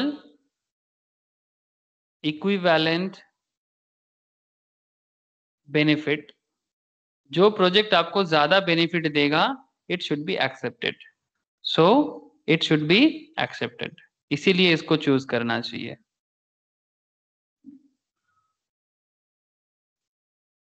ठीक है सर? बोलो। समझ आया कि नहीं आया? Special decision situation special decision situation समझ में आया? जिन लोगों को पीबीआई पीबीएफ का प्रॉब्लम हो रहा है, उनको मैं बस एक बार इतना बोलूँगा कि आप लोगों को मैं टाइम वैल्यू ऑफ़ मनी का फिर से एक बार क्लास बताऊँगा। आप उसको थोड़ा सा कीजिएगा ठीक ठाक से। तो पीबीआई पीबीएफ का कॉन्सेप्ट पूरा क्लियर हो जाएगा। अभी जितना मैं बता रहा हूँ, मैं तो दिखा ही रहा हूँ किस तरह से सॉल्व करना चाहिए। बाद में कॉन्सेप्ट वाइज अगर आपको पीबीआई पीबीएफ समझना है like annuity and interest and discounting factor वो आपको सिर्फ़ टाइम वैल्यू ऑफ़ मनी करने से ही समझ में थोड़ा क्लैरिटी आ जाएगा। ठीक है? मैं आप लोगों के लिए अरेंज करता हूँ sir time value of money का क्लास ठीक है? तो फिर दिक्कत प्रॉब्लम जो है वो शॉर्ट आउट हो जाएगा, जिनको वहाँ पर प्रॉब्लम है। बाकी अगर टाइम वैल्यू ऑफ़ मनी को मैं थोड़ा सा साइड कर दूँ, बाकी क्लियर है कि नहीं, मुझे थोड़ा बताइएगा। यहाँ तक क्लियर है सर बोलो। प्रिया प्रीति बोलो सर। प्रीतम? हाँ सर। ओके प्रीति हाँ, जवाब पाচ্ছি ना। ओके आंसर करो सर। ठीक है। तो समझ में आएगा कि आप लोग पार्टिसिपेशन कर रहे। प्रीतम? प्रीतम का जवाब एकदम नहीं मिल रहा। प्रीतम एंड ऋषभ। ऋषभ तो है?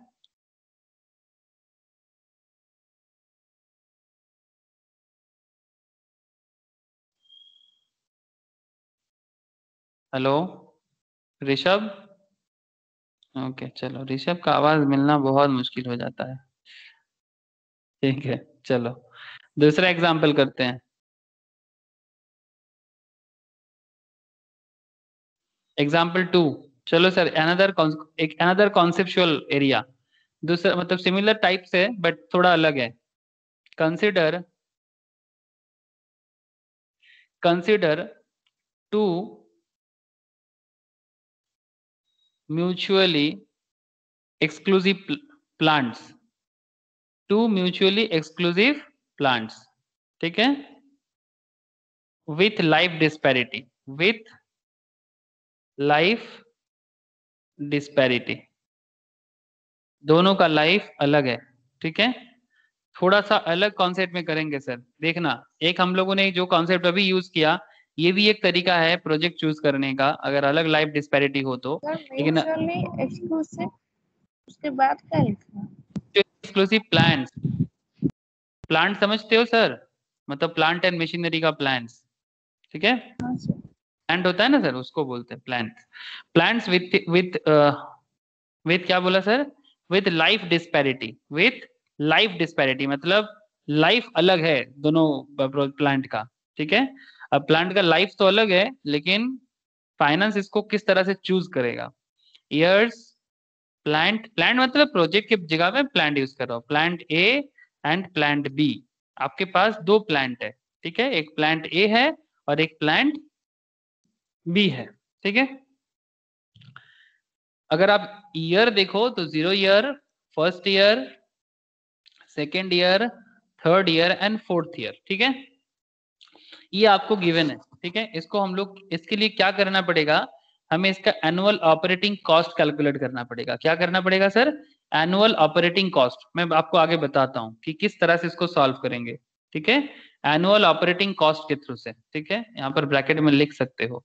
एनुअल ऑपरेटिंग कॉस्ट थोड़ा सा कॉस्टिंग वाला फीलिंग आ जाएगा। जो लोग कॉस्टिंग का क्लास करते हो मैम के पास थोड़ा सा कॉस्टिंग वाला फीलिंग आएगा आप लोगों को कि अच्छा सर, हम लोग फाइनेंस में कॉस्ट भी करेंगे।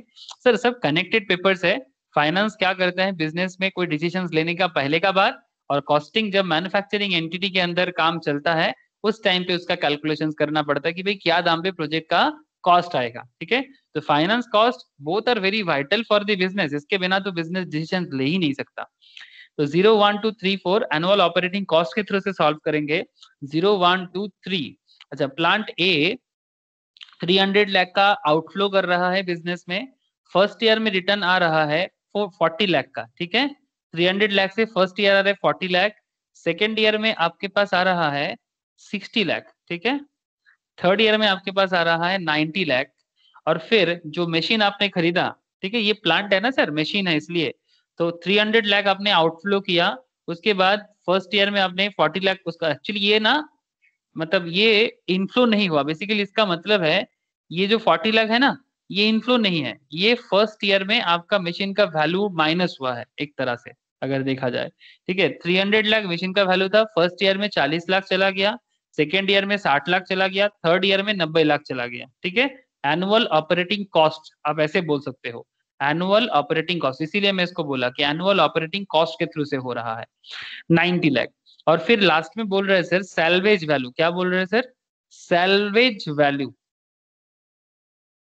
सेल्वेज मतलब क्या है सर बता सकते हो सर सेल्वेज का मतलब लास्ट में जो अमाउंट बचता है ना उसको सेल्वेज बोलते हैं। हाँ सर बोलो। Scrap value very good sir मतलब जो एसेट मेरे पास है उसको अगर इस करंट टाइम में मार्केट में सेल किया जाए जो वैल्यू मिलेगा that is called salvage value और स्क्रैप वैल्यू जिसका वैल्यूएशन आपको देके रखा है ट्वेंटी लाख ठीक है? ये चार साल के बाद का हिसाब है, ठीक है? या तीन साल के बाद भी बोल सकते हो। प्लांट बी के हिसाब अगर देखे प्लांट बी का हिसाब क्या बता रहा है?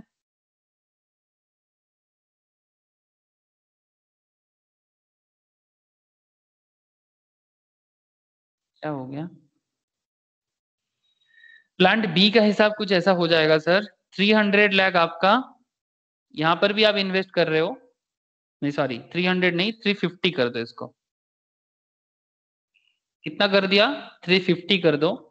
फ़र्स्ट uh, ईयर में आपका थर्टी लाख का कॉस्ट जा रहा है। सेकेंड ईयर में फिफ्टी लाख का। थर्ड ईयर में एट्टी लाख का। और फोर्थ ईयर में हंड्रेड लाख का। कुछ इस तरह से हिसाब हो रहा है सर ठीक है? First year thirty second year fifty fourth year eighty sorry third year eighty और फोर्थ ईयर हंड्रेड कुछ इस तरह का बात चला। और सेल्वेज वैल्यू इसका भी रहा आपका थर्टी लैख ये ट्वेंटी लैख है ये थर्टी लैख है। अब आपको बोल के दिया, सर कॉस्ट ऑफ़ कैपिटल जो है वो ट्वेल्व परसेंट का है। कॉस्ट ऑफ़ कैपिटल बारह परसेंट का, ये भी आपको गिवन कर दिया, ठीक है? नाउ आपको कैलकुलेट करना है कि कौन सा प्लांट आपको चूज़ करना चाहिए। कौन सा प्लांट आपको चूज़ करना चाहिए। आपको समझ में आ रहा है, सर? क्वेश्चन कुछ समझ में आया? क्वेश्चन कुछ समझ में आया? टू म्यूचुअली एक्सक्लूसिव प्लांट में एक बिज़नेस इन्वेस्ट करेगा लाइफ डिस्पेरिटी है दोनों प्रोजेक्ट का। एक तीन साल में खत्म हो रहा है, एक चार साल में खत्म हो रहा है। दोनों का सैलवेज वैल्यू भी समझ में आ रहा है। लेकिन किस प्रोजेक्ट में इन्वेस्ट करना बेहतर होगा, ये कैसे डिसाइड करेगा फाइनेंस मैनेजर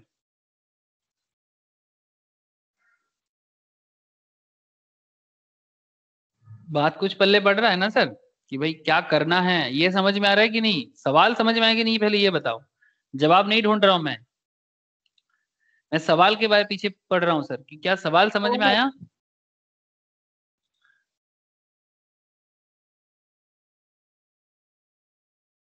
तो अगर आपको सवाल समझ में आया कि कौन सा प्लांट में इन्वेस्टमेंट करना चाहिए उसी को ढूँढने के लिए हम लोगों को आगे काम को बढ़ाना पड़ेगा। चलो सर काम को आगे बढ़ाते हैं। अच्छा इधर हो जाएगा जगह है। चलो।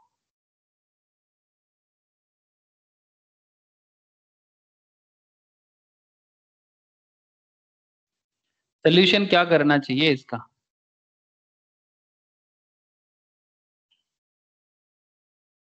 ठीक है। सोल्यूशन ढूंढते हैं। तो क्या करेंगे? सिंस लिखो सर, समझ में आ जाएगा। Since we have to choose we have to choose since we have to choose, mutually exclusive plants, mutually exclusive. कोई एक को लेना है, दोनों को नहीं ले सकते। म्यूचुअली एक्सक्लूसिव प्लान्स तो क्योंकि हमें किसी एक को चूज़ करना है विथ लाइफ डिस्पैरिटी वो भी दोनों का लाइफ अलग है। विथ लाइफ डिस्पैरिटी दोनों का लाइफ भी अलग है। ऐसे केस में करे तो क्या करे? We will calculate we will calculate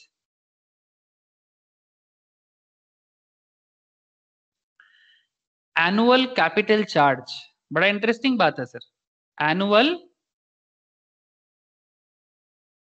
capital charge ये हमें करना पड़ेगा. Annual capital charge this is a very vital concept annual capital charge हमें फाइंड आउट करना है, ठीक है?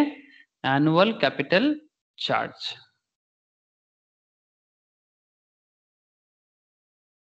अब ये एनुअल कैपिटल चार्ज है क्या? ठीक है? या फिर कैसे फाइंड आउट करेंगे इसको? इसको और एक नाम से भी बोलते हैं सर एनुअल कैपिटल चार्ज को केसीसी भी बोला जाता है ठीक है? कॉस्ट ऑफ़ कैपिटल है ना? तो कॉस्ट ऑफ़ कैपिटल चार्ज ऐसे भी बोल सकते हो आप ठीक है? या फिर ब्रैकेट में लिख के रख लो के सी सी ठीक है? कॉस्ट ऑफ़ कैपिटल चार्ज एक साल में कौन सा प्लांट ज़्यादा कॉस्ट ले रहा है उसके हिसाब से भी आपका हमारा कैलकुलेशन हो सकता है। सो so, शॉर्ट में ऐसे बोलते हैं sir KCC equals to KCC equals to present value of all cost present value of all cost net of salvage value net of salvage value मतलब जो सैलवेज है मतलब जो लास्ट में मुझे बेच के मिलेगा ने, उसको नेट करना है ठीक है? Net of salvage value salvage value को हटा के divided by present value annuity factor present value annuity factor KC comma number of years मतलब जिस तरह से हम लोग पीबीएफ कैलकुलेशन करना बार बार सीख रहे हैं उसको फिर से यहाँ पर यूज़ करना होगा। लेकिन यहाँ हाँ बोलो। जो PB PB of all cost present value of all cost PB मतलब present value present value of all cost net of salvage value net of salvage value present value of all cost net of salvage value.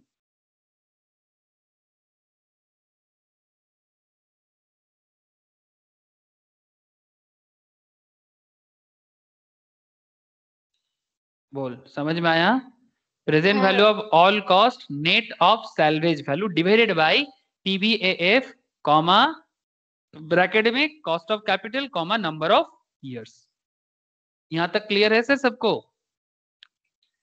Formula कुछ समझ में आया sir इसका use करना है। Because ये हम लोग क्या कैलकुलेट करेंगे? ये तो केसीसी कैलकुलेट करेंगे ना सर तो ये केसीसी कैलकुलेट करने के लिए मतलब कॉस्ट ऑफ़ कैपिटल चार्ज या एनुअल कैपिटल चार्ज कैलकुलेट करना होगा हम लोगों को कि किस, कौन सा प्लांट में चार्ज ज़्यादा है। तो चलो सर प्लांट ए कैलकुलेशन करते हैं। प्लांट ए को कैलकुलेट करते हैं। तो समझ में आ जाएगा, पहले प्लांट ए करो, फिर प्लांट बी करना। तो प्लांट ए का अगर आप ईयर्स कॉस्ट तीन चीज़ फाइंड आउट करो। ईयर्स कॉस्ट और present value at the rate of कितना केसी बोला sir twelve percent very good sir years cost and present value at the rate twelve percent अब ईयर्स में कितना हो जाएगा? ज़ीरो वन टू थ्री ठीक है? और कॉस्ट कितना हो जाएगा? क्या क्या बोला? कॉस्ट तीन सौ है ना? थ्री हंड्रेड बोला। कॉस्ट बोला है। तो अच्छा एक काम करना सर इसको ना नेगेटिव में दिखाया था ना? ज़रूरी नहीं इसको नेगेटिव शो करने का। कहाँ चला गया? इसको नेगेटिव में मत शो करो। वैल्यूशन के हिसाब से है तो डोंट यूज़ नेगेटिव कॉन्सेप्ट यहाँ पर। बिकॉज़ ये कोई आउटफ्लो इनफ्लो का बात से नहीं कर रहे हैं हम लोग। कॉस्टिंग के हिसाब से बोल रहे हैं, ठीक है? तो 300 एक सेकेंड ये जो माइनस पे दिया था मैंने, इसको माइनस पे ज़रूरी नहीं है अभी यहाँ पर। थोड़ा अलग कॉन्सेप्ट से बात चलेगा। मतलब आप प्रेजेंट वैल्यू ही करोगे बट थोड़ा सा अलग कॉन्सेप्ट है। करने के बाद समझ में आ जाएगा सर देखो ना। तो zero one two three cost कितना है? फ़र्स्ट ईयर में आपका मतलब स्टार्टिंग में कॉस्ट है तीन सौ का। फ़र्स्ट ईयर में आपका फोर्टी का यूज़ हो रहा है। चलो बढ़िया है। फ़र्स्ट ईयर में फोर्टी सेकेंड ईयर में सिक्सटी ठीक है? थर्ड ईयर में कितना चलेगा? बोलो। थर्ड ईयर में कितना कॉस्ट यूज़ कर रहे हो? हाँ सर नाइन्टी लाख का। अब यहाँ पर एक बात है कि थर्ड ईयर में आपका 90 का यूज़ तो आप कर रहे हो लेकिन सैलवेज वैल्यू कितना है? 20 20 इसका मतलब अगर आप थर्ड ईयर के बाद मशीन को बेचोगे तो आपको कितना मिल जाएगा? 70 एग्जैक्टली exactly, मतलब थर्ड ईयर के बाद अगर मशीन को बेचोगे तो मिलेगा 20 लाख। तो मशीन का कॉस्ट कितना पड़ा फिर? बात समझे कि नहीं समझे? थर्ड ईयर के बाद मशीन को बेचोगे तो मिलेगा बीस लाख लेकिन तो फिर थर्ड ईयर में कॉस्ट कितना पड़ गया एक्चुअल में? नाइन्टी से ट्वेंटी हटा दोगे कि नहीं हटाओगे? क्योंकि थर्ड ईयर के बाद अगर बेचने जाओगे तो एक्चुअल में कॉस्ट कितना पड़ जाएगा? बेचने के बेचोगे तो बीस लाख का मिल जाएगा आपको। तो जो अमाउंट आपको मिल जाएगा आप मेन अमाउंट से उसको हटा दो तो एक्चुअल कॉस्ट आपको थर्ड ईयर में पता चल जाता है सत्तर लाख का। यहाँ तक बात समझ में आया कि नहीं आया? क्यों 90 से 20 को हटाए? कुछ समझ में आया आपको? बोलो सर। क्योंकि थर्ड ईयर के बाद तो मैं मशीन को सेल करूँगा। सेल्वेज है मेरा। और 20 लाख में सेल करूँगा तो एक्चुअल में मेरा थर्ड ईयर में कॉस्टिंग कितना पड़ रहा है? 90 से 20 को हटाओ तो फिर एक्चुअल में आपको 70 लाख का पड़ रहा है बिकॉज़ आप 20 लाख मिल जाएगा आपको मार्केट से। तो जो आपको मार्केट से मिल जाएगा वो आपका कॉस्ट को क्या कर देगा? कम कर देगा ना सर कम करेगा कि नहीं करेगा? बोलो सर सबको हाँ, समझ में आया बात? जो लोग आज का इनकम टैक्स क्लास किए हो जो लोग आज सुबह इनकम टैक्स क्लास किए हो याद होगा आप लोगों को? जो लोगों ने इनकम टैक्स क्लास में आज थे सुबह का इनकम टैक्स में हम लोगों को वो एडवांस मिला था याद है? फिफ्टी थाउज़ेंड का? पाँच लाख का ज़मीन था अगर आप फिफ्टी थाउज़ेंड फॉरफिट कर हाँ, लेते तो पाँच लाख से पचास हज़ार को लेस करके मैं बोला था ना आपका कॉस्ट कम कर दे रहा है। याद आ रहा है, सर? ये सुबह का कैपिटल गेन क्लास में भी ऐसा ही कॉन्सेप्ट में बात हुआ था कि अगर आपको कुछ गेन हो जाता है तो आपका कॉस्ट कम हो जाता है। ठीक है, सर। जो लोग इनकम टैक्स में अभी नहीं हो, कोई बात नहीं। मतलब बस ऐसे ही याद दिलाया कोई कोई था, मुझे पता है इसलिए। अच्छा present value at the rate twelve percent इसके हिसाब से बोलो, सर 300 का प्रेजेंट वैल्यू में कन्वर्जन करो। इसका तो 300 ही रह जाएगा। इसको तो कुछ नहीं होगा। ज़ीरो ईयर में तो कुछ होने वाला नहीं है। ये वन का कुछ करो। 40 लाख का क्या हो जाएगा? 12 percent very good sir 35.71 40 40 lakh 12 percent rate में इतना हो जाता है सर करके बताओ। 60 का कितना हो जाएगा? 47.83 वेरी गुड सर एक सेकेंड रुको। मैं दिखा देता हूँ एक बार। 12 परसेंट रेट है तो 1.12 एकदम आराम से। दो बार डिवाइड मारो, एक बार इक्वल मारो, जो भी आएगा इंटू फोर्टी करो। ठीक है? Thirty five point seven one आ गया सर 40 का। और एक कैलकुलेशन करना है 1.12 डिवाइड डिवाइड एक बार इक्वल दो बार इक्वल इंटू करना है 60 47.83 ये भी आ गया। और एक क्या आएगा सर 47.83 ये आ गया। और एक क्या क्या आएगा? One point one two divide divide equals एक बार, दो बार, तीन बार। तीन बार, है ना? थर्ड ईयर के लिए। इंटू कितना करेंगे? सत्तर लाख ना? सत्तर लाख कर दो। Forty nine point eight two आ गया ना sir forty nine point eight two तो हमारा तीनों आंसर निकल गया सर तीनों आंसर जो चाहिए था forty nine point eight two ठीक है? Forty seven point eight three one और उसके नीचे पुराना वाला भी है, ठीक है? थर्टी फाइव का एरिया भी मिल जाएगा आपको। ठीक है? सारे के सारे निकल गया। एकदम। चलो, पुट कर लेते हैं। हाँ बोल। कितना कितना आ गया रोशनी? बोल।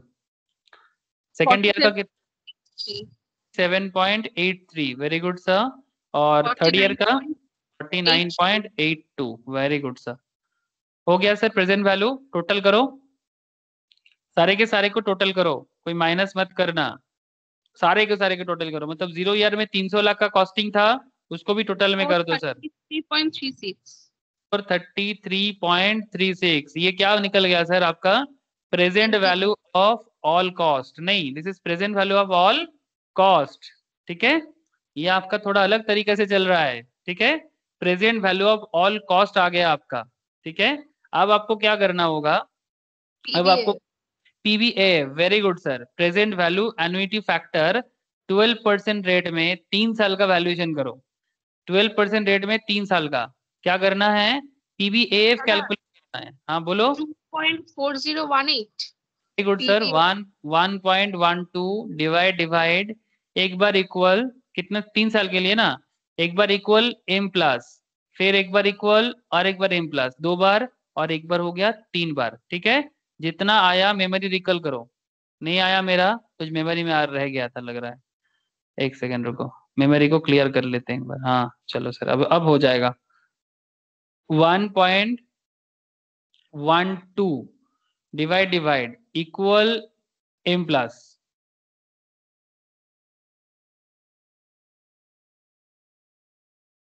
equal हो गया ना सर ओह, दो बार इक्वल हो गया अरे सॉरी सॉरी कर लो सर एक बार आप लोग आराम से। सीख गए मैं फिर भी एक बार बार बार दिखाते जा रहा हूँ। एक बार इक्वल लगाया फिर एम प्लस करो फिर और एक बार इक्वल एम प्लस करो फिर और एक बार इक्वल एम प्लस करो। जितना आया इक्वल कर लो memory three point four zero one eight यही है ना? नहीं? Two point four zero one eight मेरा थ्री पॉइंट क्यों आ गया? मैं क्या गड़बड़ कर रहा हूँ बार बार? जल्दी में हो रहा है क्या? तीन साल के लिए है बारह परसेंट रेट में one point one two divide divide equals एक बार M plus M plus M plus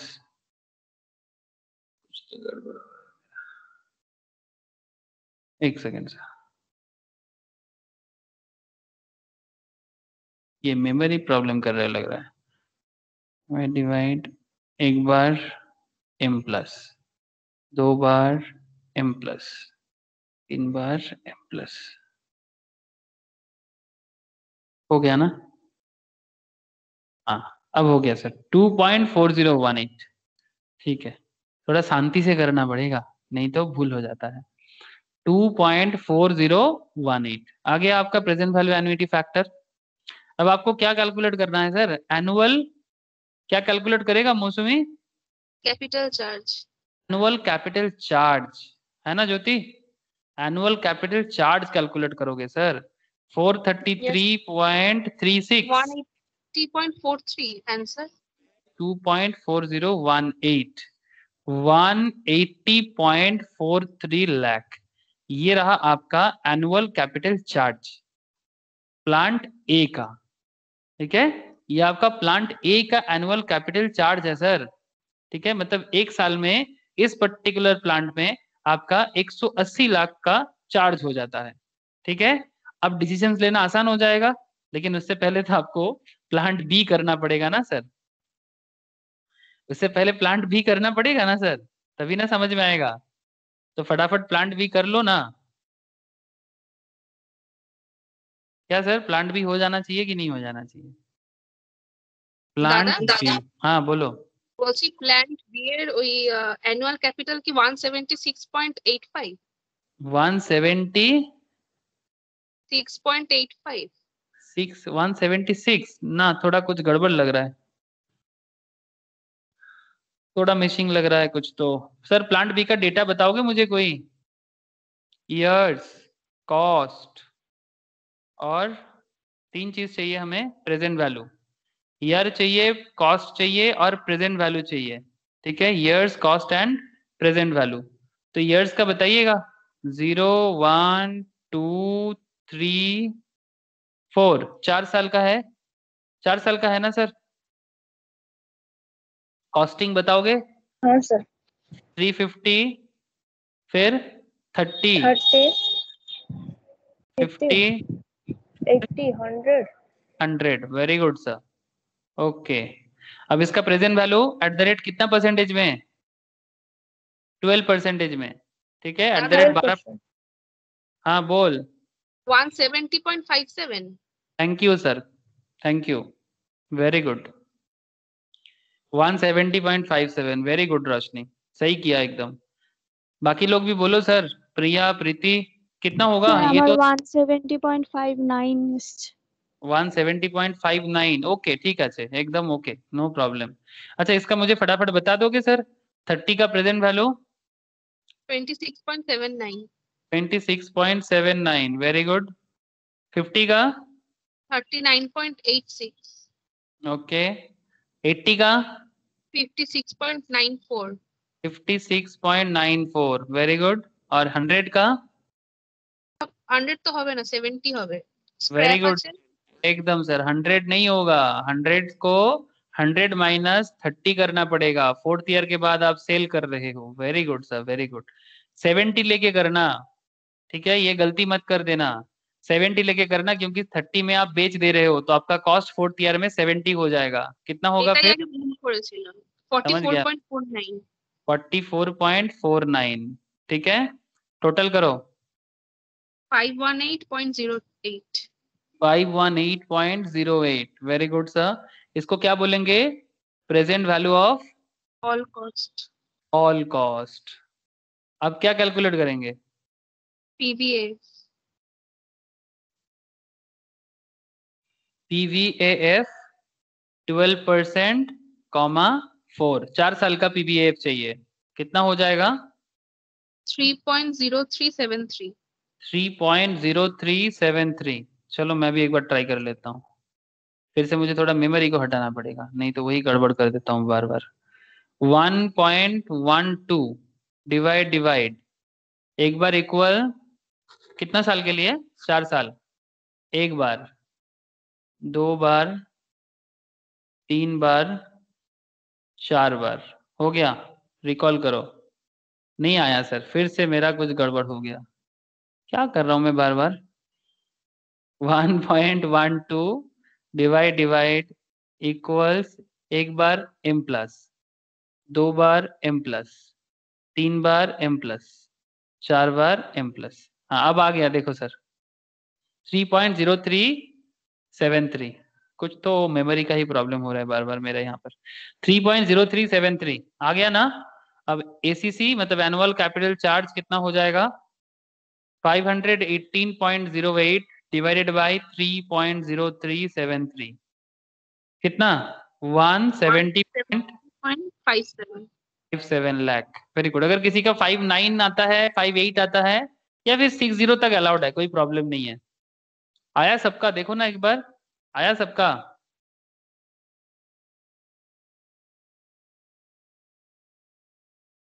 सबका आया कि नहीं आया? बोलो तो सर। हाँ सर। हाँ आया?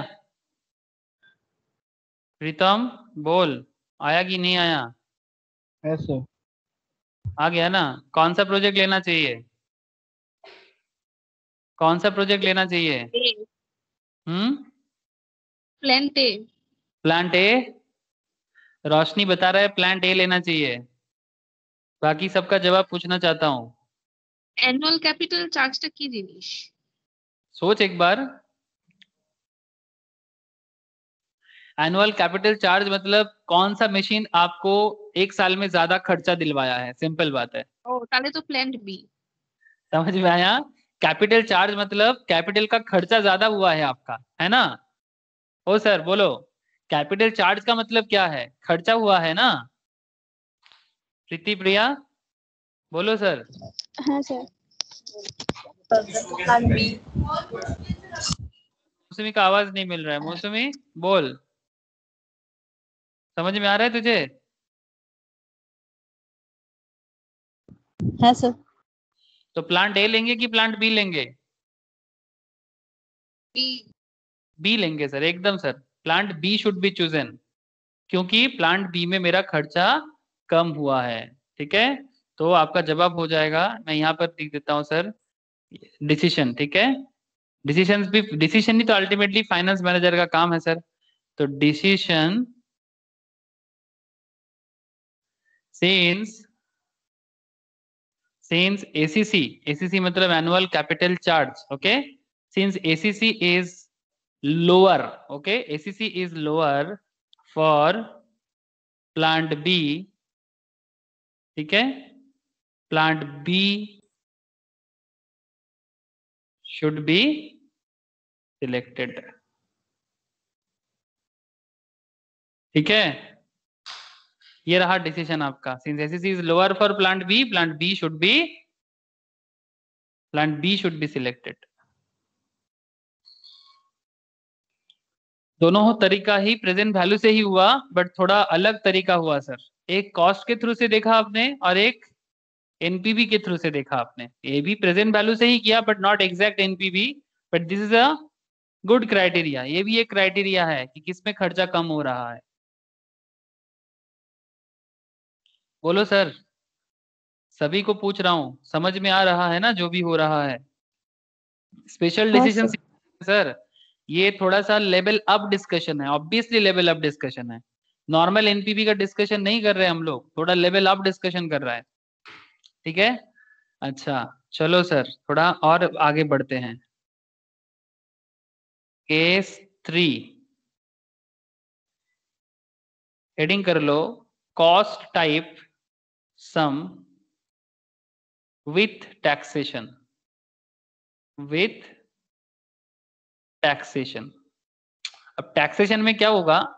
जब टैक्सेशन रहता है ना तो टैक्सेशन में क्या होता है कि आपको बेनिफिट मिलता है।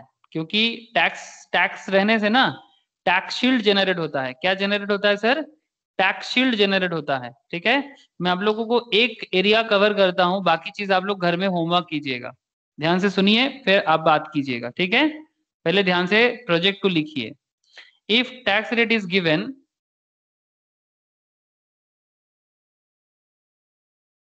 if tax rate is given, we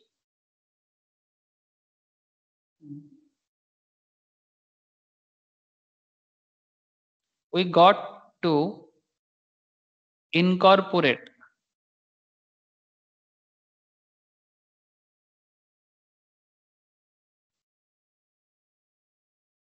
depreciation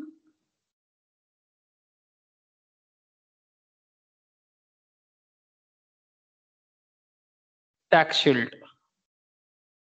got to incorporate depreciation tax shield that is DTS depreciation tax shield sir आप लोग समझते हो depreciation tax shield क्या होता है depreciation tax shield क्या होता है आप लोग जानते हो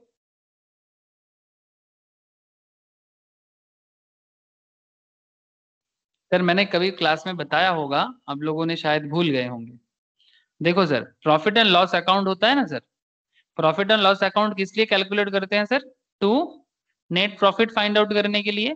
यस और no please tell me sir profit find out करने के लिए तो पीएल बनाते हैं। सर लॉस भी आ सकता है लेकिन लॉस में ना टैक्स नहीं देना पड़ता। प्रॉफिट में ही टैक्स देना पड़ता है। सपोज़ मानो कि आपका कुछ इनकम हुआ। कितना इनकम किए? चलो सर मान के चलते हैं कि आपने ट्वेंटी लाख का इनकम किए और ये साइड आपका क्या है? एक्सपेंस साइड है। एक्सपेंसेस आपने किया कुछ अदर एक्सपेंसेस किया या जनरल एक्सपेंसेस किया आपने पाँच लाख का ठीक है? तो ट्वेंटी लाख से अगर आप पाँच लाख का एक्सपेंस को हटाते हो तो आपका प्रॉफिट कितना हो जाएगा सर? प्रॉफिट कितना हो जाएगा? Please tell me sir. Fifteen lakh. Lakh का? सिंपल बात है इसमें कोई बड़ी बात है ही नहीं। लेकिन अगर आपको डिप्रिसिएशन मिलता है डिप्रिसिएशन मतलब डिप्रिसिएशन मतलब अगर आपका एसेट है अगर आपका एसेट है बिज़नेस में तो उसका डिप्रिसिएशन तो होगा? तो आप क्या करते हो? डिप्रिसिएशन यूज़ करते कि नहीं करते? डिप्रिसिएशन एक्सपेंस को आप पीएल में शो करते हो कि नहीं करते हो? अगर आपने हाँ तीन लाख का डिप्रिसिएशन चार्ज किया तो अभी आपका प्रॉफिट कितना हो जाएगा?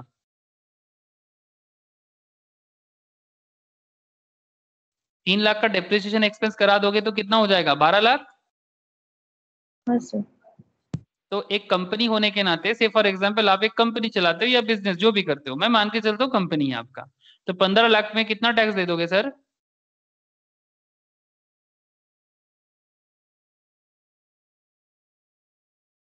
Four lakh fifty thousand का टैक्स देना पड़ेगा। लेकिन अगर बारह लाख होगा तो कितना टैक्स दोगे? तीन लाख साठ हज़ार का टैक्स देना पड़ेगा। तो करीब ऑलमोस्ट नाइन्टी थाउज़ेंड के आसपास का सेविंग्स है आपका। क्यों सेविंग्स है? बिकॉज़ आपके जो एसेट का डिप्रिसिएशन है, वो आपको क्या जनरेट कर रहा है? टैक्स शील्ड जनरेट कर रहा है। कुछ समझ में आया? टैक्स शील्ड का कॉन्सेप्ट समझ में आया सर कि डिप्रिसिएशन क्यों टैक्स शील्ड जनरेट करता है?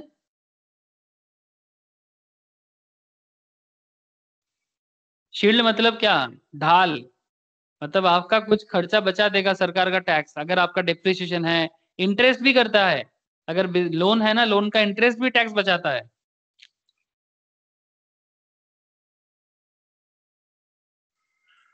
बोलो सर बोलो समझ में आ रहा है कि नहीं? हाँ सर। वेरी गुड सर तो अगर समझ में आ ही रहा है तो मैटर को सिंप्लीफाई करते हैं अभी। ओके तो बात बड़ा ही सिंपल तरीके से समझ सकते हैं हम लोग। Depreciation tax shield that is DTS okay एक एग्जांपल ड्रॉ करो और मैटर को समझ लो।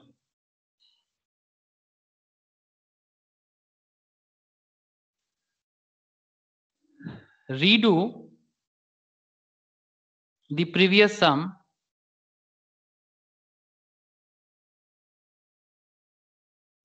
redo the previous sum taking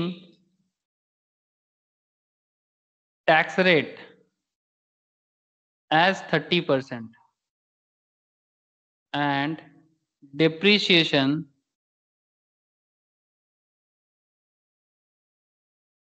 on straight line basis straight line samajhte ho na sir slm straight line basis slm method use L theek hai मतलब हर साल main amount से ही टैक्स का अमाउंट काटेगा, ठीक है? मतलब डेप्रिसिएशन का अमाउंट काटेगा, ठीक है? स्टेट लाइन और डब्ल्यू में फ़र्क जानते हो आप लोग?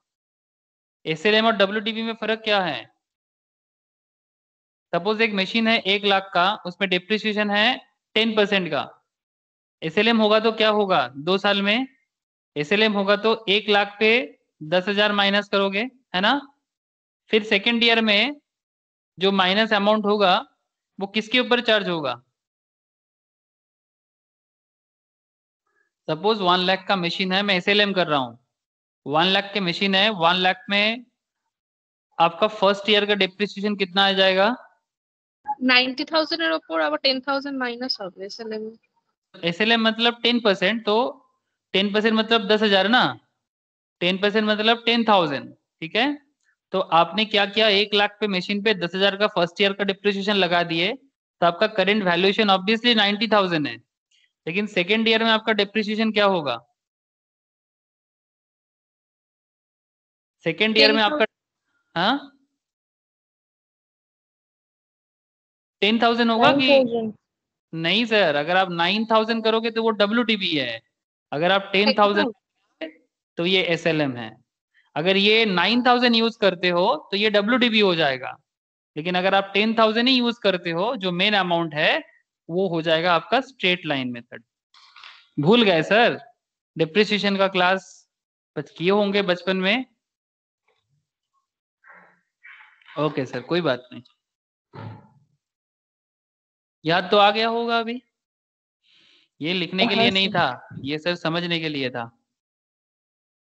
अंडरस्टैंडिंग पर्पस था सर ये सब भूलने से नहीं होगा अकाउंट जहाँ खत्म होता है एनालिसिस वहाँ शुरू होता है। अब अकाउंट्स को भूलोगे तो मुश्किल हो जाएगा सर अगर बेसिक्स ऑफ़ अकाउंट्स गड़बड़ है तो ठीक कर लो सर जिनका भी प्रॉब्लम है। सर कैसे ठीक करें?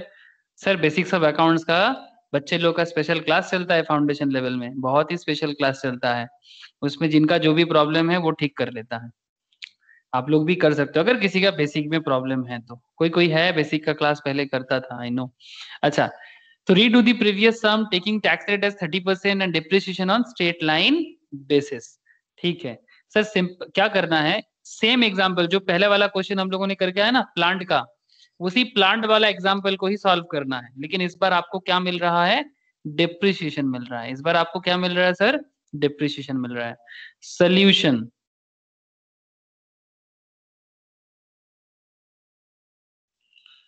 प्लांट ए मैं एक दिखाता हूँ, बाकी घर पे करोगे, हो जाना चाहिए। Plant A years operating cost years operating cost operating cost is one minus T okay sir one minus T करके कर लेना टैक्स शील्ड के हिसाब से। टैक्स है ना? पोस्ट टैक्स ऑपरेटिंग कॉस्ट अच्छा depreciation tax shield depreciation tax shield DTS net cost net cost और आपको चाहिए present value at the rate of twelve percent ठीक है? चलो सर थोड़ा सजा दो। ओके मैं सजा देता हूँ। देखो इसको थोड़ा सा बना लो सर वन टू थ्री तीन है आपका साल। सर आप मुझे बता सकते हो आपका प्रीवियस क्वेश्चन में से प्लांट ए प्लांट ए कर रहे हैं ना? प्लांट ए का कितना वैल्यूएशन था फ़र्स्ट ईयर का? फोर्टी फोर्टी अगर आप टैक्स को हटा दोगे वन माइनस टी मतलब वन माइनस टैक्स तो चालीस में से अगर थर्टी परसेंट टैक्स है ना कितना टैक्स रेट दिखा? है थर्टी परसेंट तो चालीस के से थर्टी परसेंट टैक्स कितना रहेगा? Very good sir twenty eight चालीस का थर्टी परसेंट चला जाएगा। थर्टी परसेंट मतलब ट्वेल्व तो बचता कितना है? ठीक है? ट्वेंटी एट सेकेंड का बताओ। सेकेंड ईयर का? सिक्सटी माइनस सिक्सटी का थर्टी सिक्सटी का थर्टी परसेंट है ना? Forty two very good sir और थर्ड ईयर का सेवेंटी का थर्टी परसेंट 49 सेवेंटी का होगा ना? क्या कितना है? नाइन्टी का है। वो अच्छा सैलवेज वैल्यू है नाइन्टी सैलवेज वैल्यू है नाइन्टी नाइन्टी का। अच्छा इसमें सैलवेज वैल्यू को माइनस मत करना। इस, इसमें सेल्वेज वैल्यू को माइनस मत करना बिकॉज़ इसमें अगर आप सैलवेज को माइनस कर दोगे सैलवेज का अलग से कैलकुलेट करना होगा बिकॉज़ यहाँ टैक्स का अलग कॉन्सेप्ट है। तो यहाँ पर आपको 90 के हिसाब से करना होगा। 90 इंटू थर्टी परसेंट कितना हो जाता है sir 27 seven minus equals to 63 हाँ इसमें मत कीजिएगा सर इस पे आप 70 मत कीजिए। अच्छा तो डीटीएस कितना हो जाएगा फिर? डिप्रिसिएशन टैक्स कितना हो जाएगा? डिप्रिसिएशन बोला है स्टेट लाइन बेसिस में। कैसे कैलकुलेट करोगे डिप्रिसिएशन डिप्रिसिएशन को कैसे कैलकुलेट करोगे? कोई दिमाग लगा सकते हो सर डिप्रिसिएशन के लिए?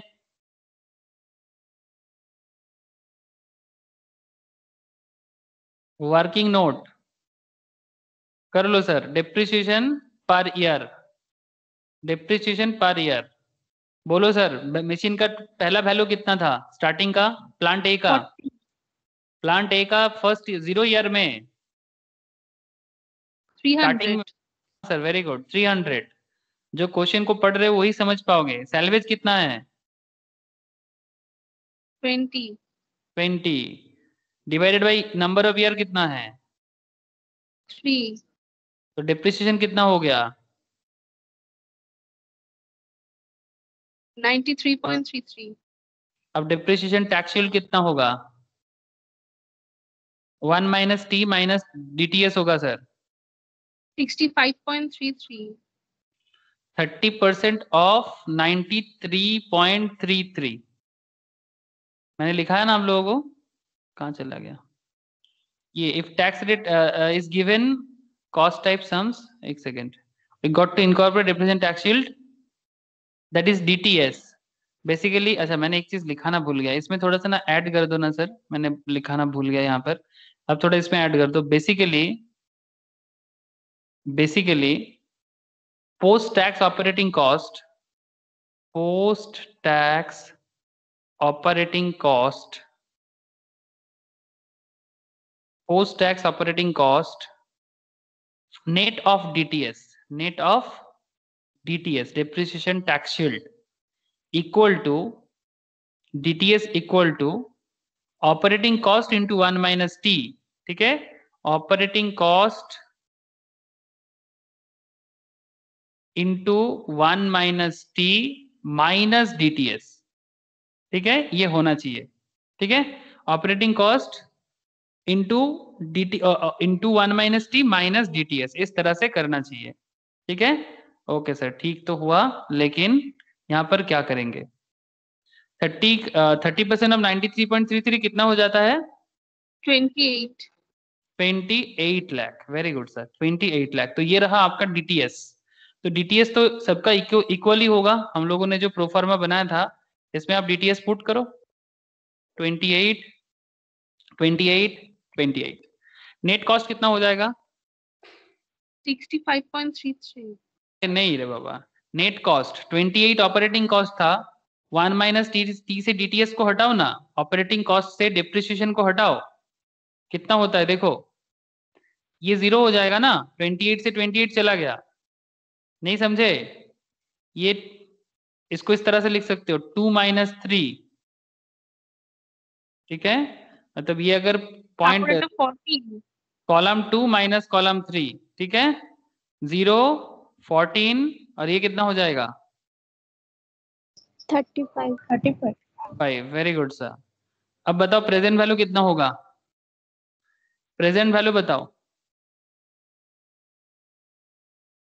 ज़ीरो का तो ज़ीरो ही होगा। फोर्टीन का बारह परसेंट में आज का वैल्यू बताओ। फटाफट बोलो सर ये सब में अभी मास्टर हो जाना चाहिए आप लोगों को। ट्वेल्व परसेंट रेट में फोर्टीन का वैल्यू बताओ। जल्दी। 11.16 seven point one six thank you और थर्टी फाइव का बारह परसेंट रेट में दो साल का वैल्यू बताओ. Present value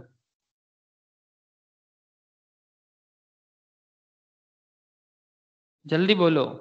24.91 twenty four point nine one thank you okay ultimately हम लोग कर लिए सर प्रेजेंट वैल्यू तक का. तो कितना अमाउंट हो जाता है टोटल करो? थर्टी सिक्स पॉइंट कुछ ऐसे हो रहा है ना? कितना? थर्टी सिक्स है 36.07 ज़ीरो सेवन ठीक है? सर ये जो वैल्यू आया ना इसको प्लस करो इसके साथ इनिशियल कॉस्ट कितना है इनिशियल कॉस्ट इनिशियली कितना कॉस्ट था मशीन का? प्लांट का कितना कॉस्ट था initial level very good sir इसको ऐड कर दो ठीक है?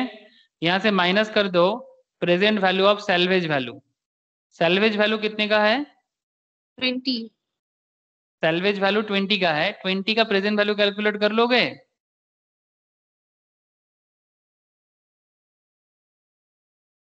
Twenty divided by one point one two whole to the power three. हाँ सर? बोलिए ट्वेल्व परसेंट रेट है।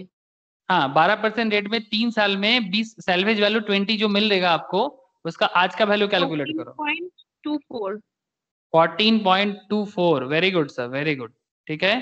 तीनों अमाउंट को टोटल करो मतलब इसके साथ इसको प्लस और सैलवेज अमाउंट को माइनस 300 के साथ 36 प्लस होगा और सैलवेज वैल्यू माइनस होगा। सर 14.24 कैसे है? सैलवेज वैल्यू का प्रेजेंट वैल्यू की है 20 लाख का प्रेजेंट वैल्यू ये सारे के सारे प्रेजेंट वैल्यू में कन्वर्जन हुआ ना सर इसका प्रेजेंट वैल्यू हुआ इसका प्रेजेंट वैल्यू हुआ। तो सैलवेज का भी प्रेजेंट वैल्यू कर लेना चाहिए 20 लाख जो आपको सैलवेज मिलेगा। सैलवेज तो मिलेगा तीन साल बाद। लेकिन इसको अगर आज के डेट में कन्वर्ट करोगे तो उसका वैल्यू इतना होता है सर नहीं समझे? ये देखो मैंने दिखाया तो 1.12 होल टू दावर थ्री जैसे कर रहे हैं आप इतना देर से 1.12 डिवाइडेड डिवाइडेड एक बार दो बार तीन बार into twenty fourteen point two four आया? हाँ बोलो सर नेट कितना हो रहा है? Three 321.83 point eight three very good sir इसको बोलेंगे क्या? Present value of present value of all cost ठीक है? इसीलिए तब वहाँ पर ट्वेंटी को हम लोगों ने माइनस नहीं किया था, क्योंकि मुझे प्रेजेंट वैल्यू भी इसका भी कैलकुलेट करना है। ये और थोड़ा क्या हो रहा है? और थोड़ा स्पेसिफिक लेवल में कैलकुलेशन चल रहा है। अच्छा तो अल्टीमेटली आपका हिसाब क्या हो जाएगा? वही आपको एसीसी कैलकुलेट करना है ना सर एनुअल कैपिटल चार्ज तो बताओ सर पीबीएफ कैलकुलेट करो अभी। पीबीएफ 12 परसेंट रेट में तीन साल का कितना होता है? ये पहले भी- 2.4018 point four zero one eight ये हम लोग पहले भी कैलकुलेट करके रखे थे। तो एनुअल कैपिटल चार्ज कितना हो जाएगा? Three twenty one point three divided by two point four zero one eight कितना हो जाता? 133.99 one three three point nine nine lakh समझे? जब टैक्स रहेगा डेप्रिसिएशन रहेगा तो आपको इस मेथड में सॉल्व करना होगा। ठीक है? ये लेवल है सर लेवल क्वेश्चन का लेवल है। एकदम लेवल ऑफ़ क्वेश्चन है। अगर आप ऐसे क्वेश्चन समझ जाते हो तो कोई भी क्वेश्चन समझ जाओगे। कोई प्रॉब्लम नहीं है सर ये सब कैपिटल बजटिंग का थोड़ा लेवल ऑफ़ है। लेकिन आपके सामने एमसीक्यू टाइप ऑफ़ क्वेश्चन आए आपके सामने इस तरह का बड़ा क्वेश्चन आए आप कभी भी घबराओगे नहीं बिकॉज़ आप लेवल अप तक जानते हो। तो अल्टीमेटली हम लोगों ने कैलकुलेट कर लिया ना सर कि एक्वल मतलब एनुअल कैपिटल चार्ज कितना हो गया इसका? 133.99 लाख सिमिलर वे में क्या आप लोग प्रोजेक्ट भी कर सकते हो? क्या सिमिलर हाँ सर सिमिलर वे में प्रोजेक्ट भी कर सकते हो? तो सिमिलर वे में इसका जैसे हम लोग प्लांट ए कर लिए प्लांट बी होमवर्क रहेगा, ठीक है? प्लांट बी होमवर्क है तो प्लांट बी आप लोग एच डब्ल्यू में कीजिएगा, ठीक है? और फिर मुझे बताइए कि कौन सा प्रोजेक्ट चूज़ करना चाहिए। अगर ये समझ गए तो मैं आप लोगों को और भी कुछ क्वेश्चंस घर के लिए देता हूँ, आप लोग प्लीज़ घर में उसको सॉल्व कीजिएगा। ये स्पेशल डिसीज़न सिचुएशंस में और भी कुछ इंटरेस्टिंग क्वेश्चन है, जो मुझे आपको कल करवाना पड़ेगा, ठीक है? रिप्लेसमेंट मतलब बड़ा ही एनालिटिकल कुछ एरिया है। एनालिटिकल कुछ एरिया है, अगर आप लोग एक बार सीख जाओगे और फिर प्रैक्टिस में रहोगे तो बहुत फ़ायदे का रहोगे, सर। बहुत फ़ायदे में रहोगे। ठीक है, सर। आज तो मैं इतना ही रखता हूँ। कुछ होमवर्क क्वेश्चंस मैं आप लोगों को शेयर करता हूँ। आप लोग घर में ट्राई कीजिए और कल स्पेशल डिसीज़न सिचुएशंस में हमें कुछ और भी बताना है, उसको बता के फिर कैपिटल बजटिंग एंड होगा। ठीक है? उसके बाद हम लोग न्यू चैप्टर दूसरा को स्टार्ट करेंगे। ठीक है सर चलो सर फिर। बाय फिर सबको। Tata bye sir. Tata tata tata Rishabh bye sir हाँ bye bye Priya bye sir bye